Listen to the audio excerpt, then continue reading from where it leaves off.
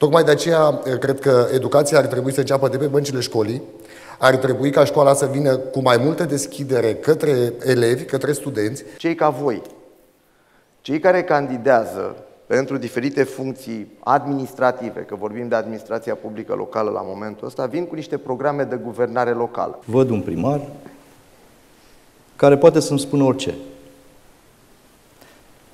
Dar cel mai important lucru este ce face. Pentru că nu poți să spui după un mandat de patru ani sau după două mandate că vei face, dar în, în timpul în care ai stat acolo nu ai reușit. Că oamenii și-au făcut prea multe iluzii. Iluziile acestea și le fac pentru că și noi îndemnăm să le fac. Așa cum tot vorbește lumea, bugetarii aia care stau și bă, omoară privatul. Ce ne propunem? Să vopsești niște borduri sau să pui niște panseluțe nu este chiar așa de greu. Vrem o țară ca afară, vrem orașe ca în Franța, Germania, Belgia și așa mai departe. Nu există democrație și nu există orașe dezvoltat fără reguli respectate de toți. Pentru că ne este foarte ușor să vedem că nimeni nu respectă reguli.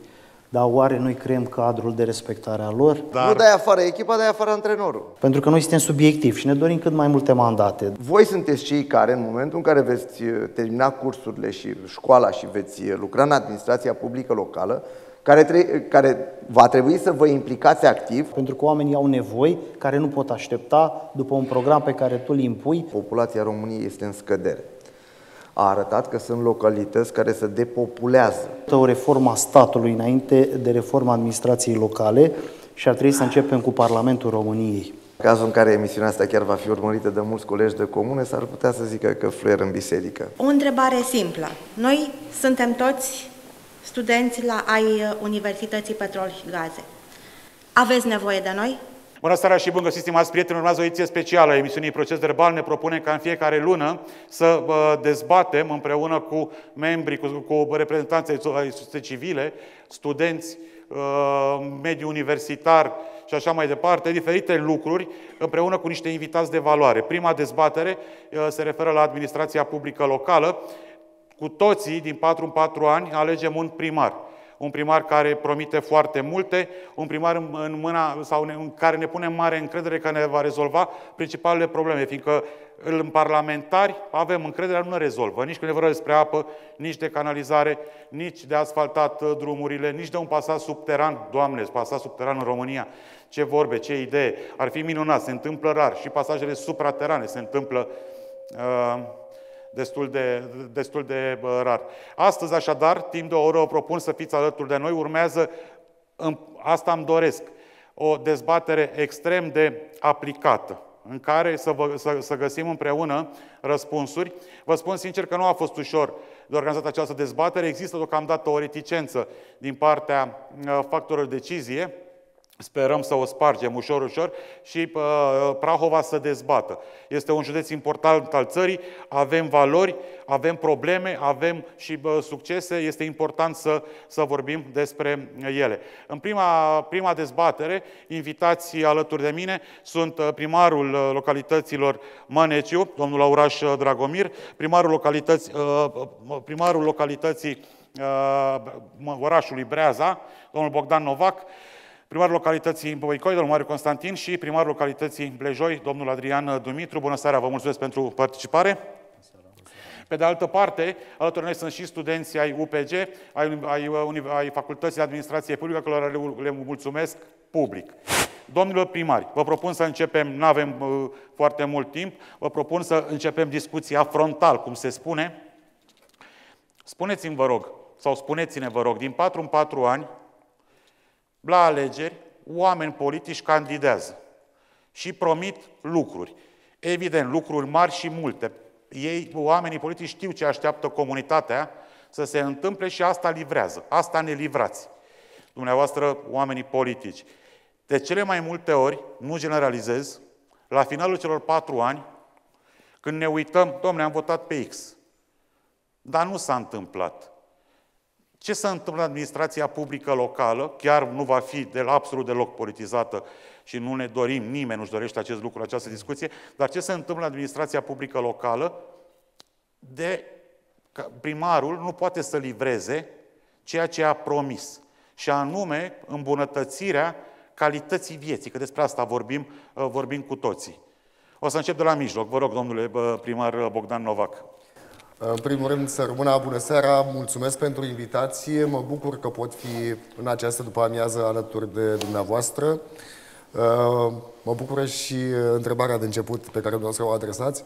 Uh, domnule Nache, din punctul meu de vedere, sunt mai multe aspecte care trebuie avute în vedere. Odată, sunt persoane care, sau sunt uh, persoane care doresc să aducă un plus valoare comunităților lor, dar uh, de la dorință până la a reuși să implementezi, trebuie să știm că totul înseamnă și legislație și administrația, într-un fel se vede din exterior și în alt fel din interior.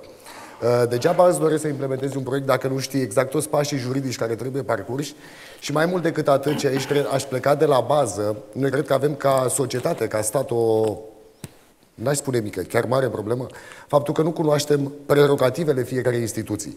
Nici candidații măcar. Mm, de, nu, nu de puține ori, nici candidații nu cunosc exact ce competențe și ce prerogative are o instituție.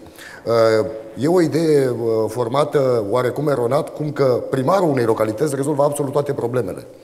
Și atunci când uh, pleci la bază și ajungi la legislație și observi că în competențele tale legale nu ai posibilitatea soluționării unor probleme, de multe ori poți fi înțeles greșit.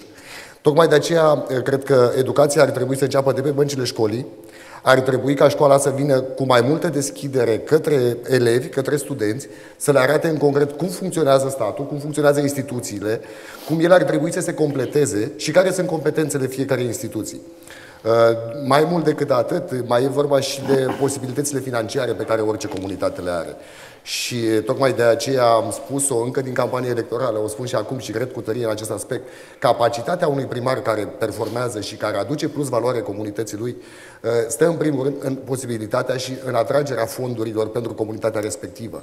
Pentru că așa cum e gândit statul la acest moment, posibilitățile bugetelor locale sunt mai mult decât limitate dacă ne raportăm la nevoile de investiții pe care le avem. Ori ceea ce trebuie să înțelegem uh, beneficiul pe care fondurile europene, dar și fondurile naționale prin programele de investiții le pot aduce comunităților noastre. Se cunoaște că sunteți avocat, ați trecut deja la alt subiect, adică întrebarea de deschidere, aceasta da. este, și anume de ce este foarte important, vă spun sincer, cred că și pentru, pentru noi toți, domne, promiteți, a, un, un candidat promite A, B, C, 10, 20 de lucruri, dintre care patru sunt mari, sunt lucruri necesare unei comunități. La finalul mandatului, auzim, păi nu am putut. Că știți că nu ne-a lăsat opoziția din Consiliul Local, știți că fonduri, știți că nu-i guvernul meu.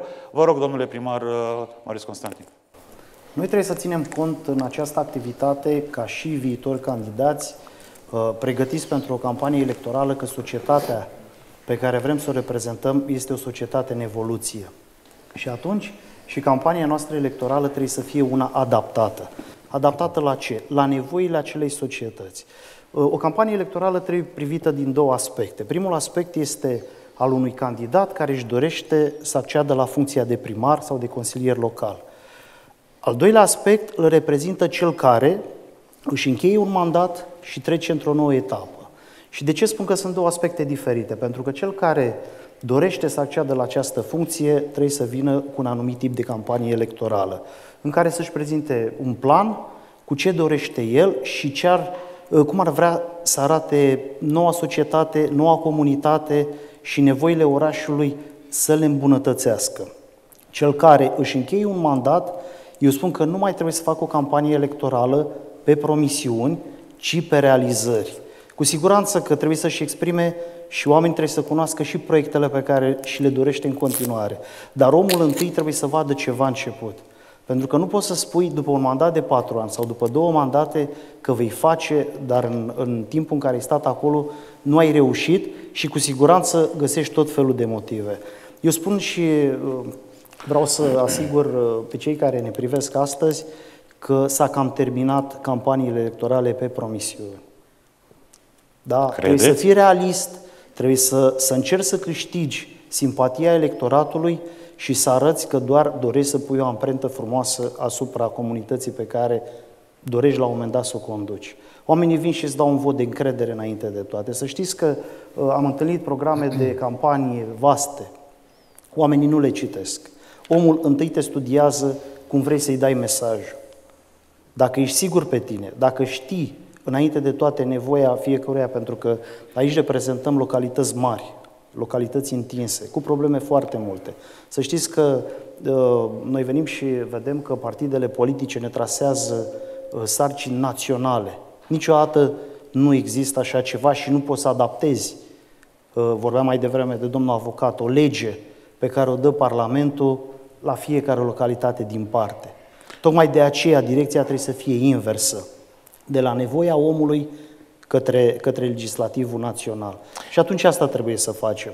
Eu vă spun că a face promisiuni deja nu mai merge.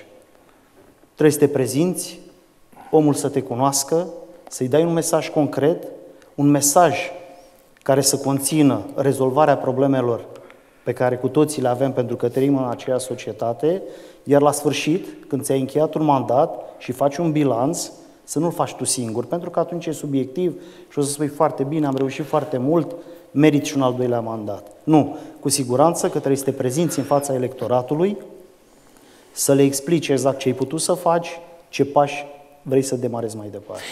Deci uh, fără promisiune electorală. Fac o precizare extrem de importantă. Alegerea celor patru invitați de astăzi nu este uh, chiar întâmplătoare. Uh, cel, este o alegere subiectivă, evident, dar pot să o și justific. Domnul Lauraș Dragomir, primarul localității Măneciu, care are și cheia, celebră localitate cheia, a găsit o localitate cu zero fonduri, zero proiecte depuse pentru fonduri europene, la pământ, din punctul meu de vedere, și acum încearcă și a și reușit să, cu fonduri europene, PNRR, Angel Salini, uh, domnul Bogdan Novac, la Breaza, uh, nici cadastru nu exista pentru terenul ce să accesezi fonduri europene. Uh, domnul Marius Constantin este primarul orașului Băicoi, celebra, care este promotorul, inițiatorul celebrului proiect cu pasajul suprateran peste DN1, adică nu un sens giratoriu cum există la ora actuală. Și bă, domnul Adrian Dumitru este un primar care are mai multe mandate, primarul localității Blejoi, care a ales inteligent și anume să atragă investitori, nu cartiere rezidențiale și astfel a reușit să dezvolte Blejoiul și să, uh, Blejoiul să aibă un buget care să-i permită să se gândească, spre exemplu, la primul bazin olimpic din Prahova, din păcate, că la Ploiești știți că not, uh, virgulă, campionii naționali se duc la Izvoran și se uh, antrenează zi de zi, de două ori pe zi. O, singur, o singură mențiune mai vreau să fac și trebuie să încercăm să, să dezvoltăm administrații locale care să dea la o parte politicul, pentru că a face politică trebuie să se facă la fel la nivel național, iar noi local trebuie să creăm comunități și nu războaie politice și ura, că uitați unde se ajunge doar pentru că cineva este într-un partid, iar celălalt este în celălalt partid și trebuie să, mai înce- să înceapă să funcționeze acea descentralizare cu care suntem amenințați de ani de zile, dar ea să știți că este spre zero, și vreau să vă dau câteva exemple uh, în ceea ce privește orașul Băicoi. Transportul este județean, gazul este național, apa este județeană, canalizarea județeană și ajungem la ce spunea domnul primar de la Breaza mai devreme. Primarul este sunat că nu este curent, că nu este apă, dar el nu poate acționa. Vă rog, uh, domnule primar Dumitru. Uh, bună ziua. Aș vrea să revin la întrebarea domnului Enache, cu ce am început. De ce în momentul în care uh, participi la campania electorală. Ești ales după patru ani, știți că mandatul uh, primarului în România este de patru ani la momentul ăsta, nu poți livra uh, ceea ce ai promis în momentul candidaturii. În momentul în care candidezi, vii știind nevoile, că doar de-aia candidezi, știind nevoile comunității, uh, să promiți schimbarea în bine, un mai bine pentru cetățeni. Și vii și faci diferite promisiuni pe, dacă ești bisteț, faci promisiuni pe termen scurt, mediu și lung. Cam astea sunt uh, programele pe care le alegem fiecare dintre noi într-o campanie electorală. Dacă promis că o să pui în sat, în oraș, în municipiu flori, le poți face într-un an. Da? Dacă promis că vei zugrăvi școlile, în ideea în care ai și bani, le faci în 2 ani. Dar dacă promis că faci un sens giratoriu suspendat, cum e cel care e la intersecția DN1 cu drumul județean 102, Aici aș vrea să vă dau exemple concrete pentru că pe voi cred că asta vă interesează. Uh, acea investiție cu accesarea unor fonduri europene s-a făcut în 8 ani. În 2008 S-a stabilit conceptul, s-au dat hotărâri de Consiliul Local, Consiliul Județean, s-a trecut la proiectare, au fost discuții pe uh, soluția aleasă, s-a obținut finanțarea undeva în 2012, 2011-2012, s-a încheiat în uh, 2016. E prezent domnul Ganea, a trecut prin aceeași uh, uh, perioadă cu pasajul suprateran de la Mărășești, început în același timp cu, DG, cu giratoriu de la uh, DG102 cu DN1, finalizat 2016-2017 și nu m-a dus să știe prin câte a trecut să-l finalizeze. Sunt proiecte pe termen lung pe care nu le poți livra. Dacă vin acum și spun o să vă fac metrou, e clar că nu-l pot face în patru ani. Ideea e că dacă în primul mandat reușești să livrezi 50-60% din ceea ce ai promis în campania electorală, ai mai mari șanse să fii reales pe uh, ceea ce ai putut realiza din ceea ce ai promis. Și atunci oamenii au încredere și îți poți realiza și proiectele pe termen lung. Și mai e un factor esențial. Cei ca voi, cei care candidează pentru diferite funcții administrative, că vorbim de administrația publică locală la momentul ăsta, vin cu niște programe de guvernare locală. Pot avea Consiliul de partea lor, Consiliul Local, sau pot să nu-l aibă. Să spunem că îl vor avea. Și ei vin cu un program de guvernare locală. Da? Eu vin și spun că vreau să fac nu știu ce, dar nu-l fac eu. Asta e ideea, e programul pe care trebuie să mi-l urmăresc. Voi sunteți cei care, în momentul în care veți uh, termina cursurile și școala și veți uh, lucra în administrația publică locală, care, tre- care va trebui să vă implicați activ în uh, finalizarea acestor programe de guvernare locală. Că e pe gustul vostru, că nu e pe gustul vostru, ăla care a fost ales și are votul popular, da? Se presupune că a fost ales tocmai pentru programul de guvernare locală propus, iar cei care lucrează în instituție trebuie să facă tot ceea ce depinde de ei, să-l pună în aplicare. Nu să-și dea cu părerea, să zică, știi, dar mie nu mi se pare corect să fac chestia asta. Interesant subiect. Ce vreți să spuneți? Că cei din aparatul Pentru că este propriu... foarte posibil ca pentru un ales local, da, primar uninominal, să aibă probleme inclusiv cu cei din aparatul propriu. Și să nu-și poată pune în aplicare programele de dezvoltare locală, de guvernare locală, cum vreau eu să le spun, așa cum și le-a propus. Și atunci ce Și atunci respectivul uh, primar, care vorba dumneavoastră, a fost votat pentru cele cinci puncte. Ce poate să facă? Fiindcă, pe bună dreptate, din, dintr-un punct de vedere, există, uh, funcționarul public este apărat de lege. Iar un primar Poate eventual să-l sancționeze, să-l roage frumos, să se uite urât la el, dar până nu este, este, este protejat și e bine că este în, protejat. Într-o astfel de uh, activitate contează mult și echipa pe care o are uh, liderul local alături de el. Pentru implementarea proiectelor europene, pentru implementarea proiectelor din bugetele locale, pentru tot ceea ce își dorește fiecare să facă la nivelul localității. Dar primarul decontează aceste nerealizări. E ca în Aveți fotbal. dreptate, dar- Nu dai afară echipa, dai afară antrenorul. Prin vot popular. Vă rog, uh, domnule primar, Auraș Dragon. Aș vrea doar să completez un mic aspect. Și revenim la legislație. Trebuie foarte bine cunoscut codul administrativ în ceea ce înseamnă organizarea administrației locale și posibilitățile pe care un manager, în speță primarul, le are vis-a-vis de aparatul administrativ. Pentru că sunt măsuri legale care pot fi luate, dar care pot duce la eficientizarea echipei. Sunt măsuri și împotriva funcționarilor publici care pot fi luate. De detașare, de sancționare disciplinară. Adică trebuie analizăm toate punctele de vedere. Acum m-ați provocat toți trei, dar că domnul Dragomir încă n-a apucat să vorbească. Dar, uh, dar spuneți-mi, vă rog, primarul, uh, primarul respectiv, care a câștigat ca să realizeze cele 4, 5, 10 proiecte, dacă vin, uh, vin funcționarii publici și spun, domnule primar, domnule, e la limita ales, eu nu mi-asum. Primarul are în spate presiunea promisiunilor. Domne, dar eu trebuie să livrez comunității, că ne-am săturat toți de promisiuni. Eu vreau să livrez. Și atunci ce se întâmplă de obicei? Indiferent de ce promitem, trebuie să livrăm ce este legal. 100%. Da? Deci nu putem să intrăm în o astfel de discuție. Ce a vrut să spună domnul primar, că sunt uh, funcționari care îngreunează activitatea. Dar uh, în uh, fișa de post a fiecăruia avem acolo înșirate toate atribuțiile pe care le are și se termină sau alte atribuții primite de la primar. Risc cu o întrebare. Deci cu siguranță care poate fi considerată neprietenoasă, poate, un, poate aparatul propriu, din, format din funcționari publici, să, încerc să mă exprim frumos, să, să pună piedici, să împiedice implementarea respectivului program? Nu, dacă... dacă... Vă rog, do- vă rog. Uh, aș vrea să pornesc uh, discuția de la ce ați spus noastră puțin mai devreme. Noi suntem aici să livrăm ceva.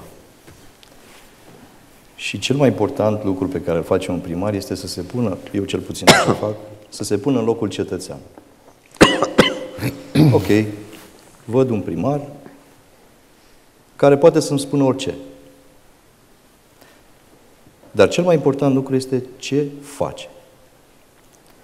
Și atunci trebuie să înțelegem cu toții că noi, în aceste poziții pe care vremelnic ne avem, eu sunt și la primul mandat, am decât doi ani de mandat, spre deosebire de colegul meu.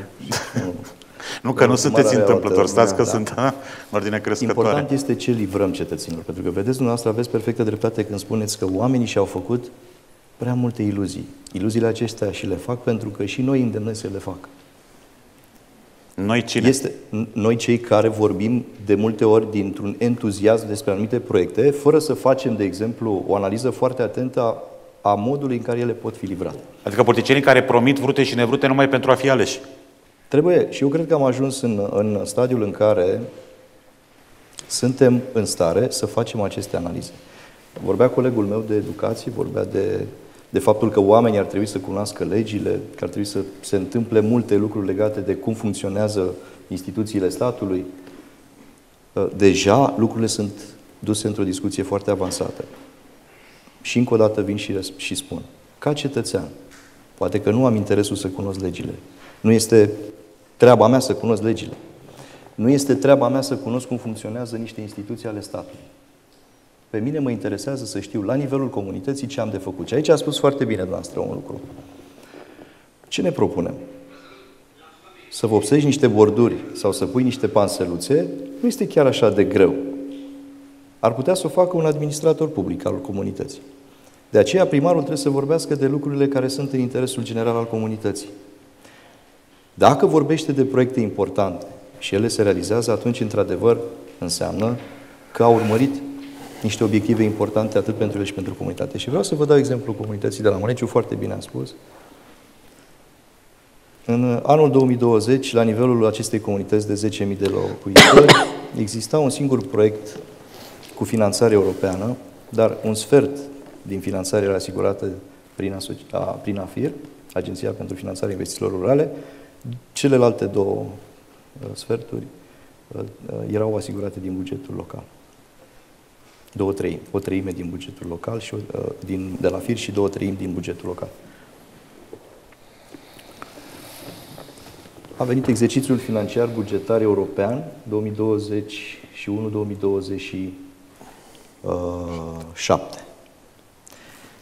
Toți primarii tuturor localităților a, au făcut o analiză a nevoilor, așa cum spunea colegul Adrian, și au încercat să încadreze nevoile prin proiecte depuse la autorități pentru a obține o finanțare. Asta am făcut și eu. Prima cerere pe care am depus-o pentru o finanțare europeană a fost făcută în luna septembrie 2021 și aprobarea am primit-o în decembrie 2022. Iar contractul l-am semnat un an în martie, și trei luni. Iar contractul l-am semnat în martie 2023. A fost un caz fericit. În total avem depuse și contractate 8 proiecte în valoare de aproximativ 6 milioane de euro, alte două proiecte depuse în valoare de 5 milioane de euro și în evaluare încă două proiecte. Vom vorbi, vom vorbi de despre acest lucru. Dar, exact cum spuneți dumneavoastră, toate aceste lucruri ne privesc pe noi și pe aparatul de specialitate al primarului. Pentru că de-aia suntem acolo să discutăm, să ne referim la legi, să ne referim la proiecte, la ghiduri și așa mai departe. Cetățeanul trebuie să vadă exact produsul livrat. Urmează o întrebare importantă, dacă doriți. Uh, din, uh, uh, mulți se gândesc la acest lucru. Domnul Bolojan, primar, fost primar la Oradea, a spus așa, în primii doi ani de zile nu mă, mai, nu mă mai sautau oamenii pe stradă. Fiindcă am zis, trebuie locuri de parcare, cu plată. Nu mai poți parca oriunde. Săltăm mașina oricui care parchează în regulamentar, indiferent de nume și prenume. A lua măsuri nepopulare. Evident că orice primar dorește să fie salutat, lăudat de, locu- de către locuitori, mulțumind domn primar.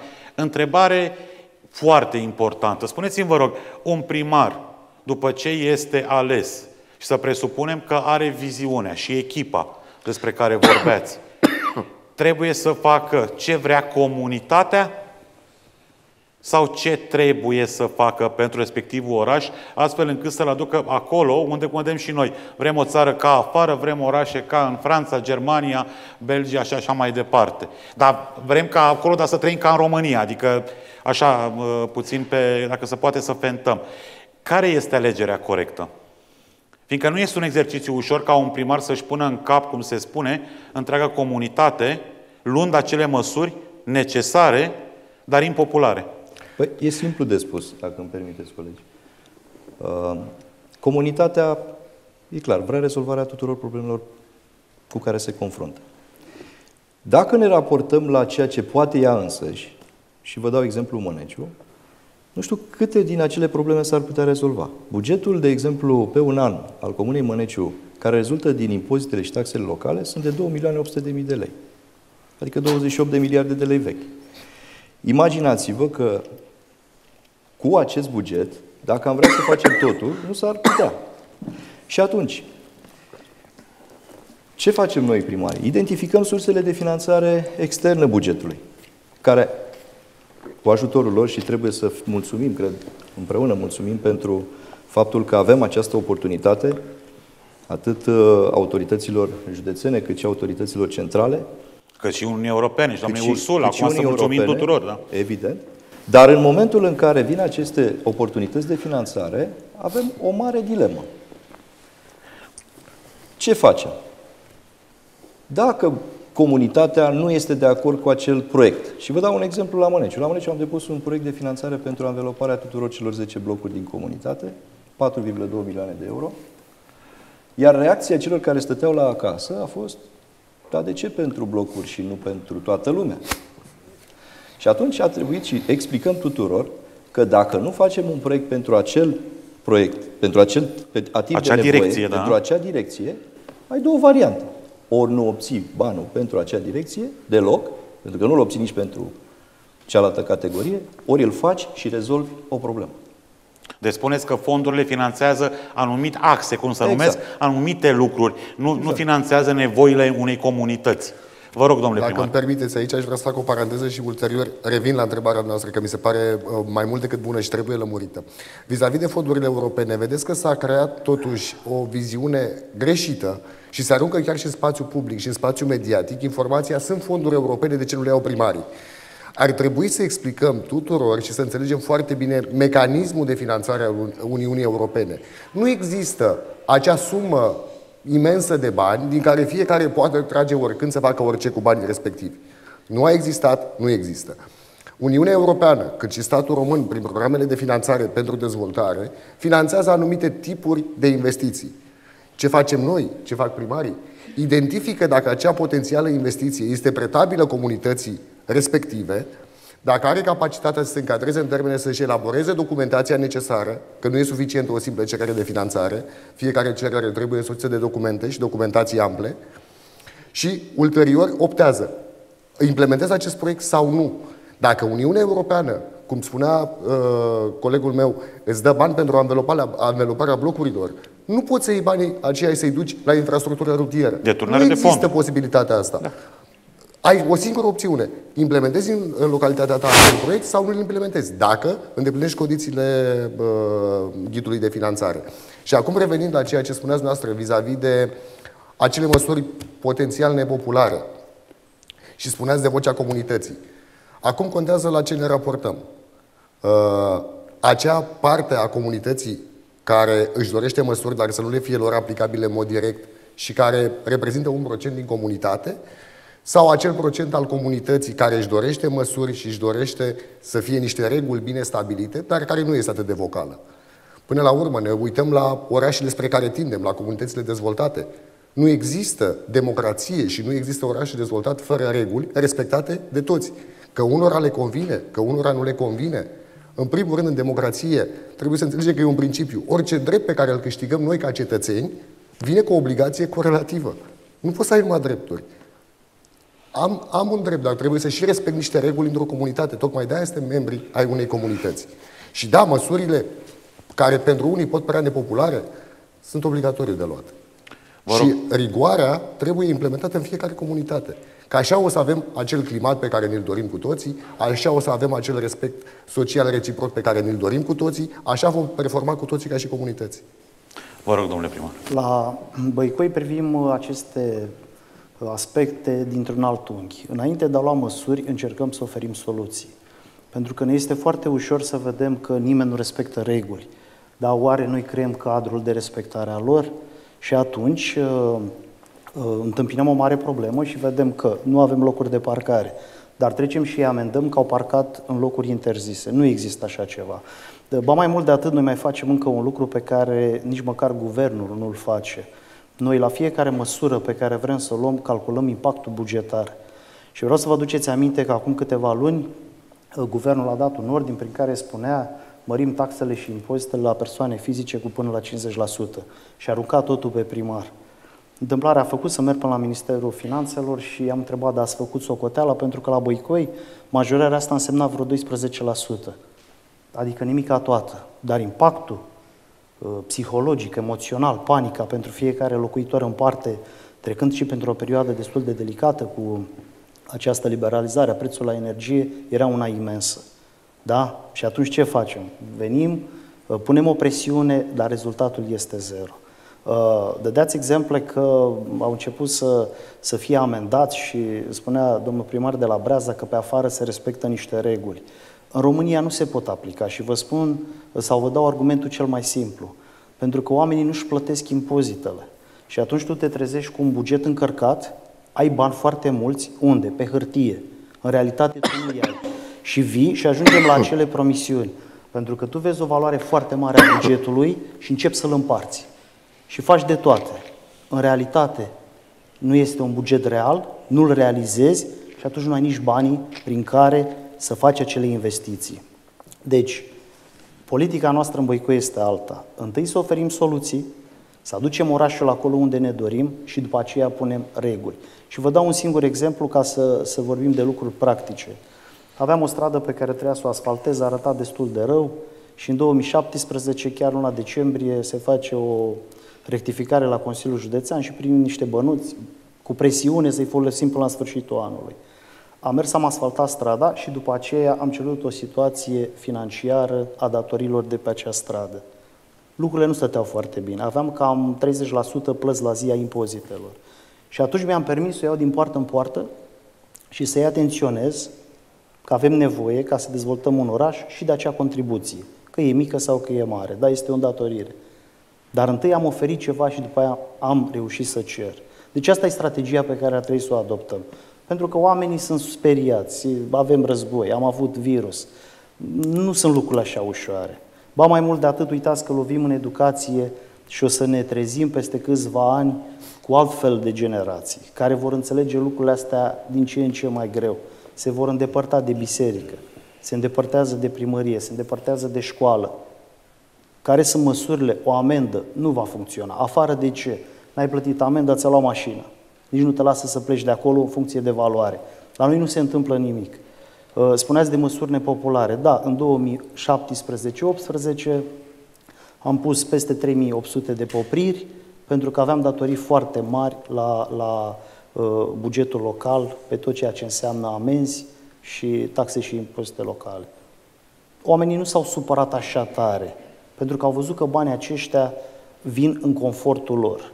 Altfel, dacă tu pui uh, măsuri uh, represive, pentru că umbli în buzunarul lui, dar nu vede nimic, cu siguranță că reacția va fi alta. Ați atins un subiect foarte important și anume dacă statul, pe ansamblu, ne oferă nouă acele servicii de care avem nevoie.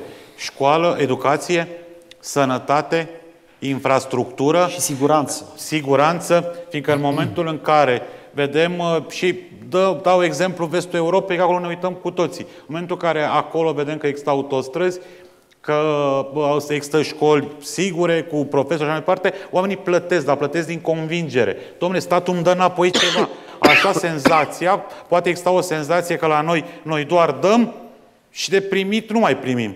Dar nu un an, nu doi, nu cinci. Sunt 33 de ani. Și noi tot așteptăm, așa că poate om primi. Și tot primim, dar doar promisiuni. Vă rog, domnule primar.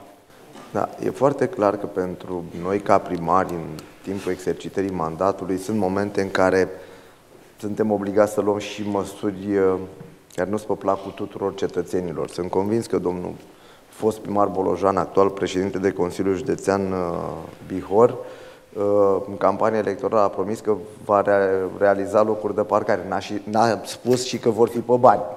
Dar după 2 ani de zile s-a văzut în Oradea, făcându-se la acele parcări cu plată, că s-a schimbat ceva greu pentru cetățeni să respecte regulile, chiar dacă domnul Enache vorbea că în străinătate oamenii o fac din convingere. Nu.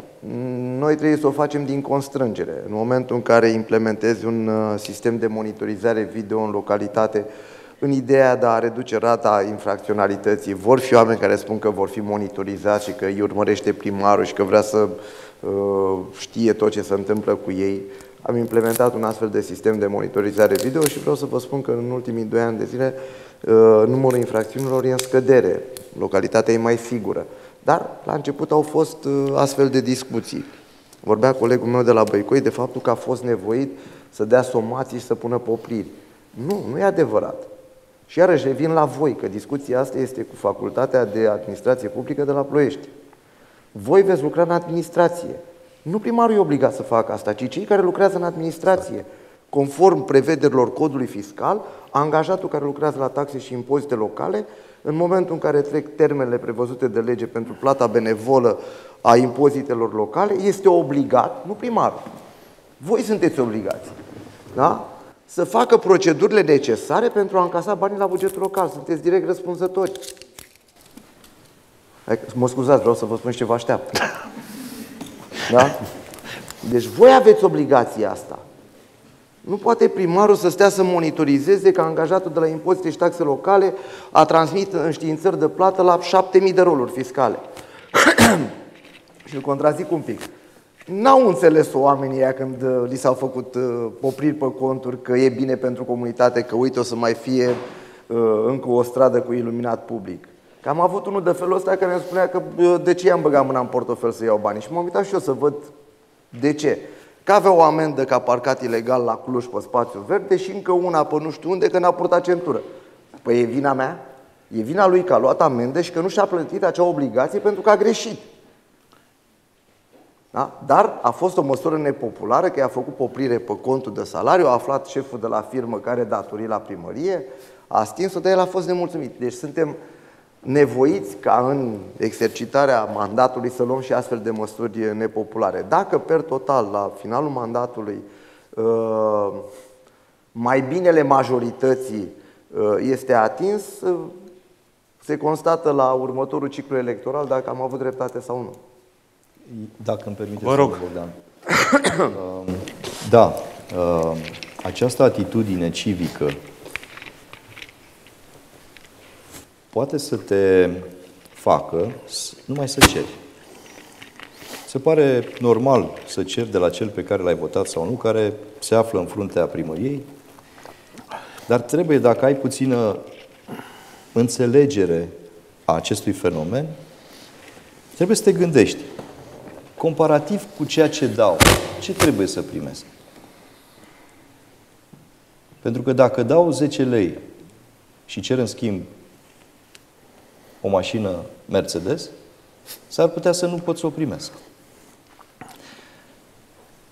Așa cum v-am spus și cum a spus și domnul primar, noi ce facem? Administrăm o situație, de multe ori de criză. La Măneciu, de exemplu, impozitele și taxele locale n-au fost modificate din 2019.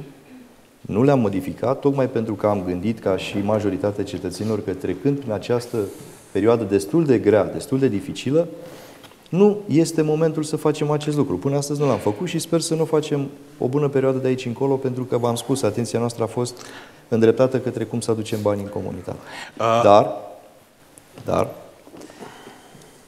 așa cum vă spuneam, dacă făceam un calcul, dacă aș fi crescut impozitele și taxele locale cu un procent de 10%, la cei 2.800.000 de lei aș fi adăugat o sumă cu care nu cred că aș fi rezolvat mare lucru. Și atunci, ar trebui să ne gândim, ok, este bine sau nu este bine drumul acesta pe care îl parcurgem cu toții? Pentru că e foarte ușor să vii și să spui, nu mi-ai făcut, nu mi-ai pus asfalt pe stradă, înseamnă că nu ai făcut nimic. Apropo de chestiunea aceasta, programul acesta, uh, celebru Angel Salini, eu îl, uh, îl apreciez ca fiind un program foarte important pentru comunitățile locale. Prevede asfaltarea de drumuri de pământ. Deci dacă vrei să modernizezi un drum care este deja asfaltat, dar are partea carosabilă afectată, nu poți.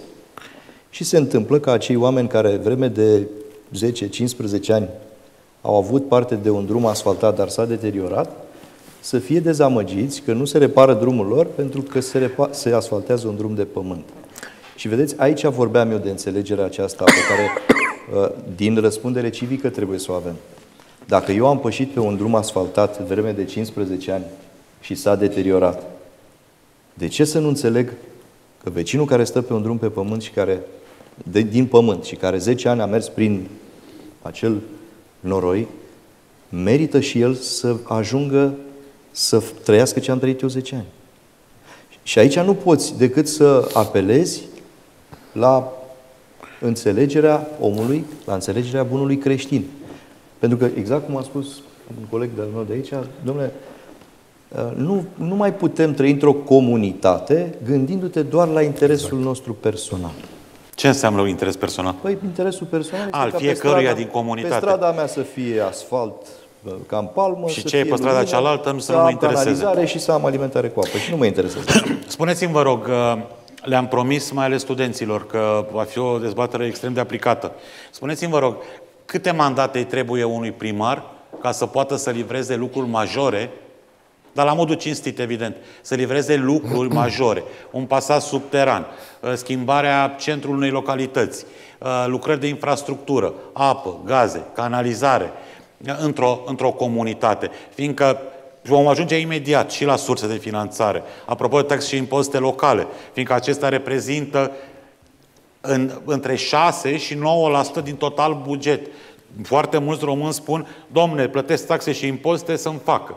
Să-mi facă curățenie, să-mi facă drum, canalizare, hipodrom, ă, tot. Să-mi facă, fiindcă sunt plătători de taxe și impozite. Per total buget, maxim 9% reprezintă impozitele și taxele plătite de către persoanele fizice.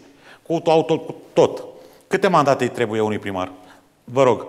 Să începem de aici. răspund Ah, eu că scuzați-mă, cele mai stați că multe. dumneavoastră Eu- sunteți eu- la primul. Eu am auzit, stați un pic, da, domnul Adrian, te rog. Vă nu te rog. supăra. Eu răspund simplu. Vă prezentam mai devreme acel exemplu cu giratoriul suspendat uh, de la intersecție DG102 cu DN1, în care v-am spus că a început în 2008, s-a terminat în 2016. Din punctul meu de vedere, minim două mandate. Știu că sunt uh, la nivel uh, Deci 8 ani de zile. 8 ani. La nivel parlamentar sunt anumite discuții de a mări uh, perioada mandatului primarului de la 4 la 5 ani, ca pentru cel care are două mandate de 10 ani, chiar să vadă ceva într-o localitate. Gândiți-vă că primii doi ani când ești primar, până te familiarizezi, exact ce spunea bă, domnul primar de la Breaza, nu cunoști în amănunt. Tu vii, faci niște promisiuni când candidezi, dar nu cunoști în amănunt ce e în interiorul acelei administrații. Da? Doi ani de zile trebuie să te familiarizezi cu proiectele în lucru, o nebunie să spui că am ieșit eu primar acum și cel care a fost înaintea mea, care a demarat niște proiecte, poate multe dintre ele și prin consultarea populației nu mai sunt bune și le abandonăm. Vin eu și fac altceva. Dar se întâmplă, să știți. Se întâmplă. Eu vă spun ceea ce ar trebui să fie normal. Pentru că dacă un proiect a fost gândit și e bun, poate fi ajustat. Dar dacă l-ai lăsat pe ăla și începi tu că vrei să fie proiectul tău, deja te-ai dus dincolo de cei patru ani de zile. Poate să fie într-adevăr un proiect care a fost o megalomanie sau cine știe ce inepția unuia. Îl renunți. Dar trebuie să faci o analiză a proiectelor găsite pe care uh, perioada lor de implementare și uh, tot uh, domnul primar de la Breaza vă spunea, Nu sunt uh, toate instituțiile care ar trebui să colaboreze cu UAT-urile, cu administrațiile, uh, unitățile administrativ-teritoriale uh, extrem de deschise da? și să dea cu celeritatea vizele. Avem uh, CFR-ul, stat în stat, avem electrica, stat în stat. Noi în momentul în care depunem un proiect sau, da, realizăm un proiect și ne luăm pe el certificat de urbanism și avize, trebuie să luăm de la deținătorii de rețele. Electrica e stat în stat, îți dă avizul după un an. Am în lucru câteva proiecte și aștept de la Electrica avize.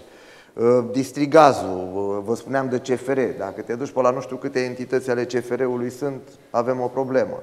De asemenea, uh, Ministerul Agriculturii prin direcțiile agricole, prin Agenția Națională de Îmbunătățire Care încurcă mai mult decât descurcă? Deci trebuie să stai să urmărești tot timpul obținerea acelor avize, să fii cu completări, să ajungi să dai autorizația de construire și să începi să faci licitațiile, dacă nu sunt contestații la licitațiile respective, să semnezi contractul de achiziție publică. Dar birocrația aceasta, domnule primar, că e, toți ne întrebăm, dar nu puteți să o schimbați, avem parlamentari. La modul serios, Noi transparent. Suntem primari. Scuze? Noi suntem primari. Știu, dar avem parlamentari și de Prahova sunt parlamentari care doresc ca legislația să fie eficientă, să respecte, evident, cadrul legal, să fie stufoasă astfel încât să nu se comită diferite lucruri ilegale, dar pe de altă parte se întâmple lucruri într-un timp cât mai scurt. Sunt nu, convins nu sunteți primul care spune, domne, sunt unele instituții care ne încurcă, parcă vor să ne pună bețe în roate, să, să facem lucruri mari, investiții mari, mai greu și bă, poate ne lăsăm în final. Sunt convins că veți face o emisiune și cu parlamentarii de Prahova și o să le Am înțeles. Această. Vă rog, domnule. Deci, punctul meu de vedere, minim două mandate. Două mandate, așadar. Vă rog. Da, așa cum fiecare locuitor din România se lovește de birocrație, din păcate și noi ne lovim de același lucru uh, și stăm după tot felul de avize și vreau să mai spun un amănunt foarte important. De la a scrie un proiect și până îl semnezi trec minim 2 ani de zile. Gândiți-vă ce realitate mai găsești în acel proiect referitor la uh, prețurile pe care tu le iei cu 2 ani în urmă și este o situație de care ne lovim acum în implementarea proiectelor pentru că avem proiecte gândite în 2018, 2019 și acum le implementăm. Și știm cu toții că prețurile la materiale de construcții uh, sunt câteva articole unde au crescut și cu 100%. Uh, valoarea unui proiect european nu ai voie să o schimbi, ea rămâne finală. Și tot trebuie să te adaptezi, să găsești portițe. A spune că îți trebuie mai multe mandate, cu siguranță. Poate uh, o matematică simplă să spună 2 ani să ai timp să așești ceva. Oamenii, în schimb, nu vor să vadă asta. Vor să vadă că este o schimbare. Pentru că noi suntem subiectivi și ne dorim cât mai multe mandate, dar vom fi din 4 în 4 ani la, la vot și atunci vom da socoteală pentru ce am făcut. Nu stă nimeni să, să ne creadă că n-am avut timp și nu mai trebuie încă un mandat de răbdare. Nu. Oamenii vor să vadă o schimbare și aceea să fie în bine. Mai departe, uitați că sunt primari care sunt de pe la Revoluție și oamenii le dau încredere în continuare. De ce? Pentru că au trecut de două mandate, au făcut ce au avut, deci pot pleca acasă. Nu. Pentru că îi reprezintă. Pentru că au reușit să le rezolve nevoile. Ba mai mult de atât, eu cred că cel mai ușor lucru pe care îl facem sau îl putem face și oamenii să înțeleagă cel mai bine este să-i ascultăm. Pentru că a comunica înseamnă, nu știu neapărat dacă rezolvăm problema, dar omul pleacă mulțumit de la o audiență. Deci m-a primit Online sau față către față? Nu, Stați că... nu, nu. Cu siguranță că trebuie să avem un contact, să, să putem să explicăm, să vedem de ce nu putem rezolva sau mai mult de atât să putem înțelege problema așa cum... Deci, nu există, și, oamenii vor în continuare să-l vadă pe primar, nu sigur, digital, sigur. să discute situația online cu dânsul. De exemplu, la noi la, la primărie, să știți că în ceea ce privește audiențele primarului, ele se fac zilnic. Deci nu există o zi anume cu un interval orar, nu. Zi de zi primim la audiență uh, de dimineață de la 7 până seara dacă suntem în, în primărie. Ați impus dumneavoastră regula aceasta? Sigur că da, da, da, pentru că oamenii au nevoi care nu pot aștepta după un program pe care tu îl impui, ba mai mult de atât s-ar putea ca în ziua în care e audiență să fi plecat pe la ministere, să aduci bani. Și atunci la noi a dispărut această programare a întâlnirilor cu oamenii prin audiențe. Nu știu cine a inventat-o, dar nu este un lucru bun. Vreau să mai fac o singură mențiune referitor la proiectele europene. Să știți că noi încercăm și ne zbatem. Și s-a tot vorbit că sunt anumite axe care poate nu corespund nevoilor și trebuie să accesăm ceva de ce, că așa de bine. Chiar dacă noi poate nu avem nevoie de proiectul acela. Și am văzut cu toții pe la televizor uh, piste pentru biciclete în sate părăsite, uh, bazine de înnot și acum sunt la, este lacătul pus pe ele pentru că n-au un milion de lei pe an să, să-l țină într-o stare de funcționare. Baze sportive făcute așa cum sunt. Eu cred că trebuie să trecem de această etapă și să stabilim cel puțin o strategie județeană de atragere a fondurilor europene. De ce? Pentru că uităm de un amănunt foarte important.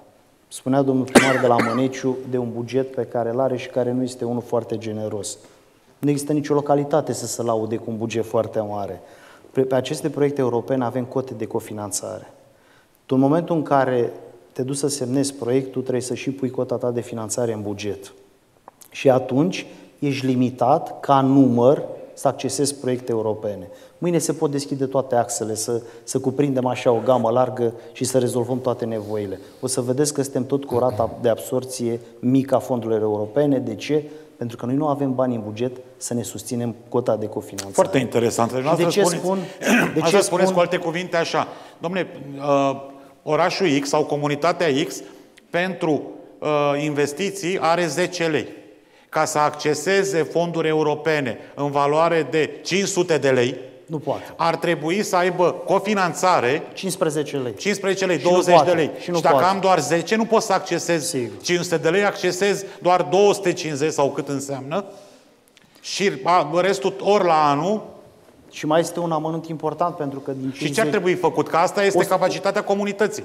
O strategie județeană pentru că Uh, sunt primari acuzați... Păi nu Consiliul Județean, nu sunt proiectele acestea care sunt în multe localități, să ne vorbească domnul uh, Dragomir? Sau nu, la ce vă referiți? Nu au legătură cu, cu Consiliul Județean. Sunt proiecte pe care le, le accesează UAT-ul și UAT-ul trebuie să asigure cofinanțarea. Strategia să fie una mai complexă, care să cuprindă cota de cofinanțare, pentru că tu vrei să fii un primar care vrei să faci ceva.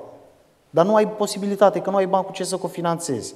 Și atunci oamenii te acuză. Statul să-ți dea să suporte această cotă de cofinanțare.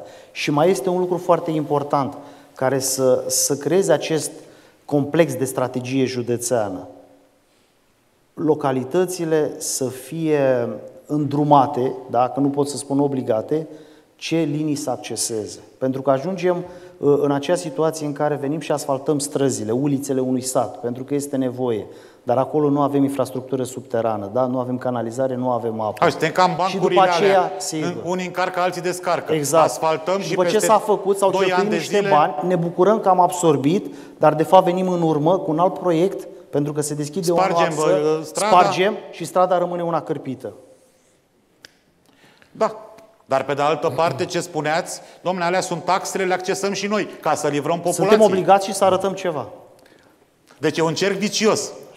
Vă rog, domnule Dacă, dacă îmi permiteți reveni la întrebarea noastră, nu știu dacă sunt în măsură eu la Sunteți la primul mandat și noastră și domnul Dragomir. Cum la este la primul mandat? Sunteți după 2 ani și un pic? Este da? la fel cum ne-am asumat în campanie, domnul Enache, și când am spus că trebuie să ai o viziune cât mai clară asupra administrației, eu am avut-o și sunt convins că și colegul de la Măneciu a avut-o, a ceea ce înseamnă administrație și ce se poate face. Ați vrut uh, să livrați, scuzați-mă, să livrați lucruri majore, lucruri concrete, dar de importanță comunitară, nu da. am asfaltat două străzi și bă, am îmbunătățit... Nu. Uh, Revenind la bă, partea de debut a dezbaterii de astăzi și vis-a-vis de promisiunile făcute în campanie electorală, eu vă spun că un lucru mai mult decât nociv în administrația locală perpetuat de-a lungul anilor au fost promisiunile constante din timpul mandatelor. Când primarul a promis și a făcut anumite chestii reactiv, încercând să rezolve niște probleme minore, doar ca să obțină votul persoanei care vin la el în audiență. Și asta este un lucru mai mult decât periculos. De ce? Este extrem de important să expui cetățeanului adevărul. Dacă se poate face ceva, pentru că nu toate solicitările cetățenilor sunt pertinente. Unele sunt de moment. Omul vede doar problema lui din fața, din fața curții. Cum spunea domnul primar de la Băicoi. Da, are o groapă, dar el nu are utilități. Vino și punem asfalt. Nu, trebuie să ai capacitatea să explici să-i spui nu. o logică, să-i spui că urmează întâi să rezolvi problemele utilităților subterane după care vii cu asfaltarea. Ăsta e doar un exemplu. Da, dar asta înseamnă dar, timp. Înseamnă în timp. Și bani. Dar, și bani. Dacă, de, dacă dar în afară de asta, trebuie să explici omului adevărul. Cea mai bună minciună e adevărul. Și vis-a-vis de atragerea finanțărilor, și vis-a-vis de implementarea proiectelor.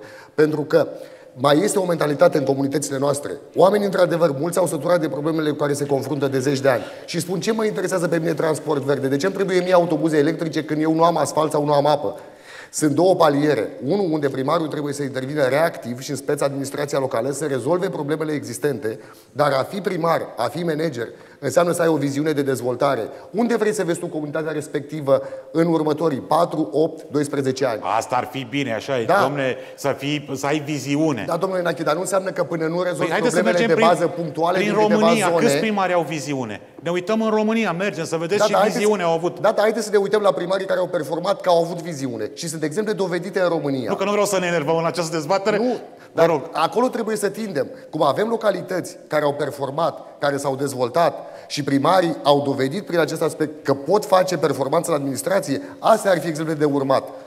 Nu se rezolvă unului problema punctual, chiar dacă știi că nu este benefică și nu este ceea ce trebuie la momentul respectiv. Nu trebuie să ai tăria să-i spui adevărul, trebuie să ai capacitatea să-i prezinți exact ce înseamnă implementarea unui proiect și posibilitatea atragerii unor finanțări și revenim mai devreme și aici am vrut să fac un apel și îl fac în continuare către cei din sală, pentru că veți fi o parte dintre voi viitori funcționari publici, vis-a-vis de ce spunea domnul primar de la Blejoi, de comunicarea și colaborarea între instituții, în afară de acest procedeu birocratic legislativ, mai este și atitudinea unor funcționari care își pun hârtia pe birou și spun peste 30 de zile. E, nu, trebuie să înțelegem fiecare Termenul legal, de că altfel. în orice situație putem fi noi în locul celui care ne solicită ceva.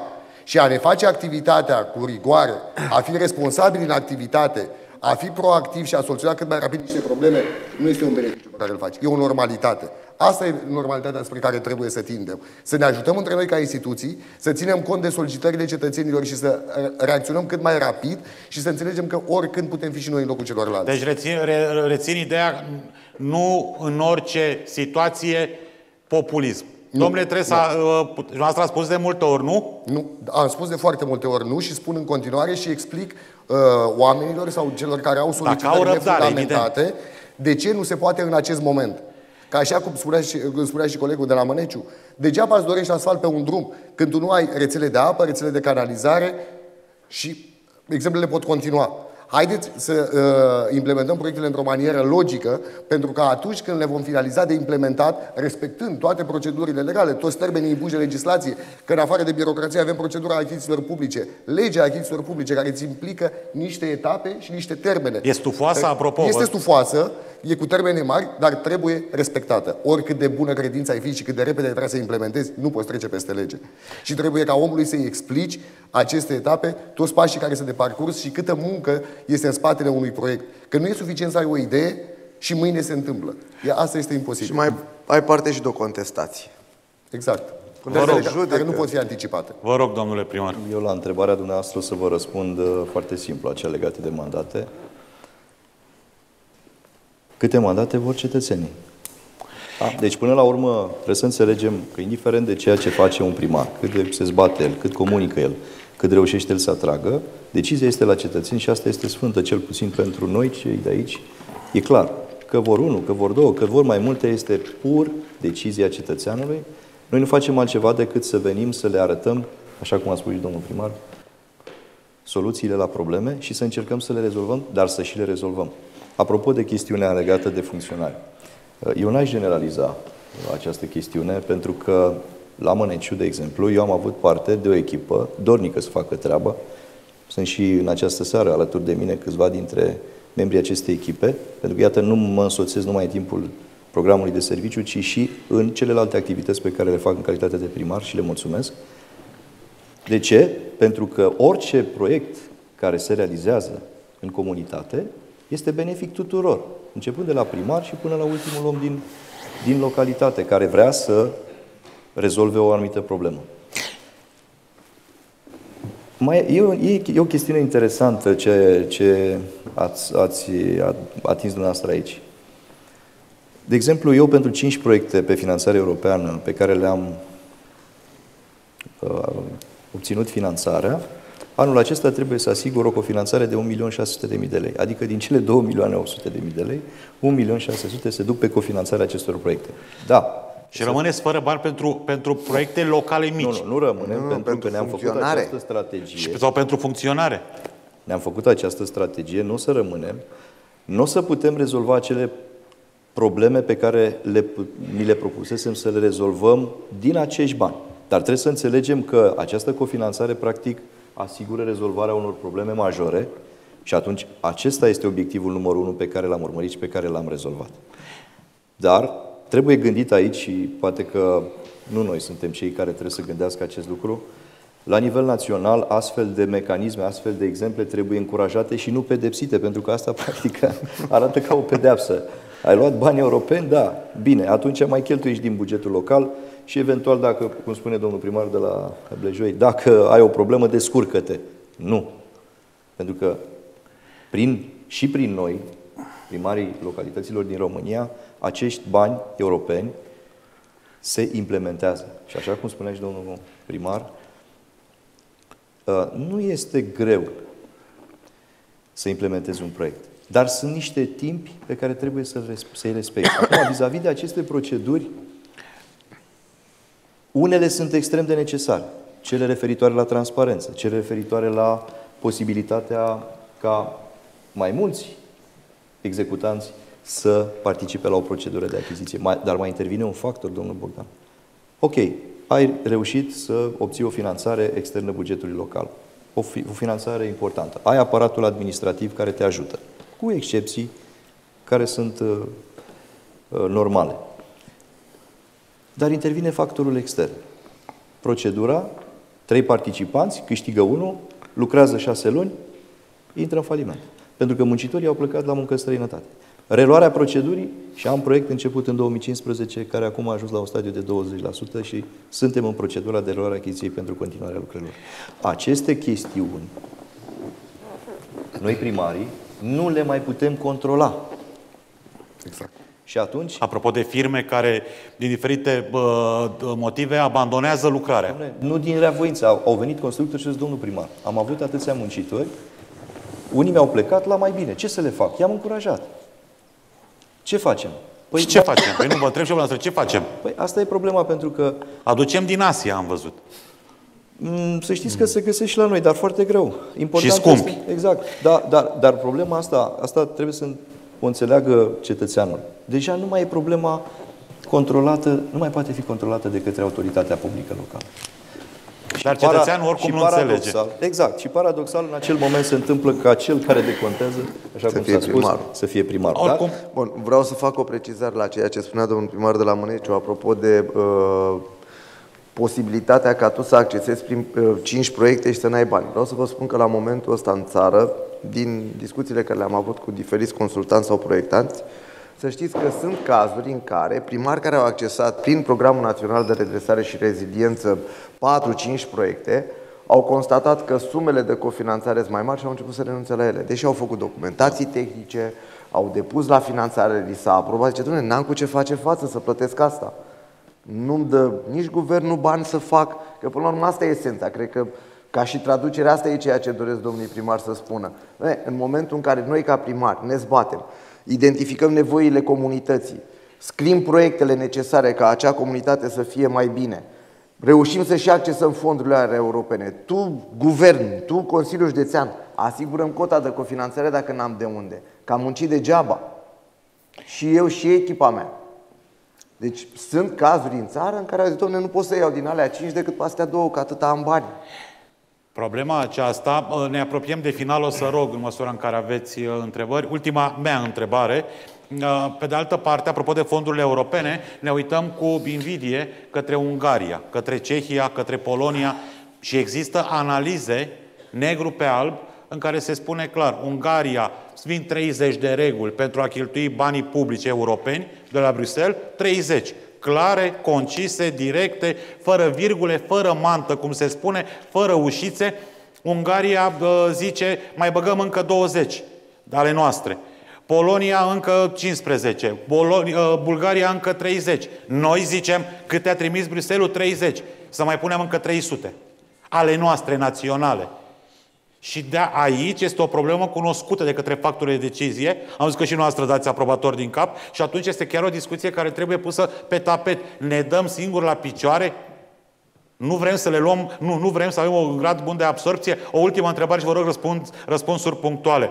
Apropo de cote de cofinanțare, apropo de finanțarea administrațiilor publice locale, spuneți-mi, vă rog, se vorbește de mulți, prea mulți ani despre reforma administrativ-teritorială. Știu că s-ar putea să fluier în biserică, cum se spune, sunt în, sunt în fața, sunteți în fața mea patru primari, niciunul, e adevărat, nu conteți o comunitate mică, uh, este nevoie, din punctul dumneavoastră de vedere, al primarilor, de o, de o asemenea reformă la nivel național. Se vorbește, sunt prea multe primării,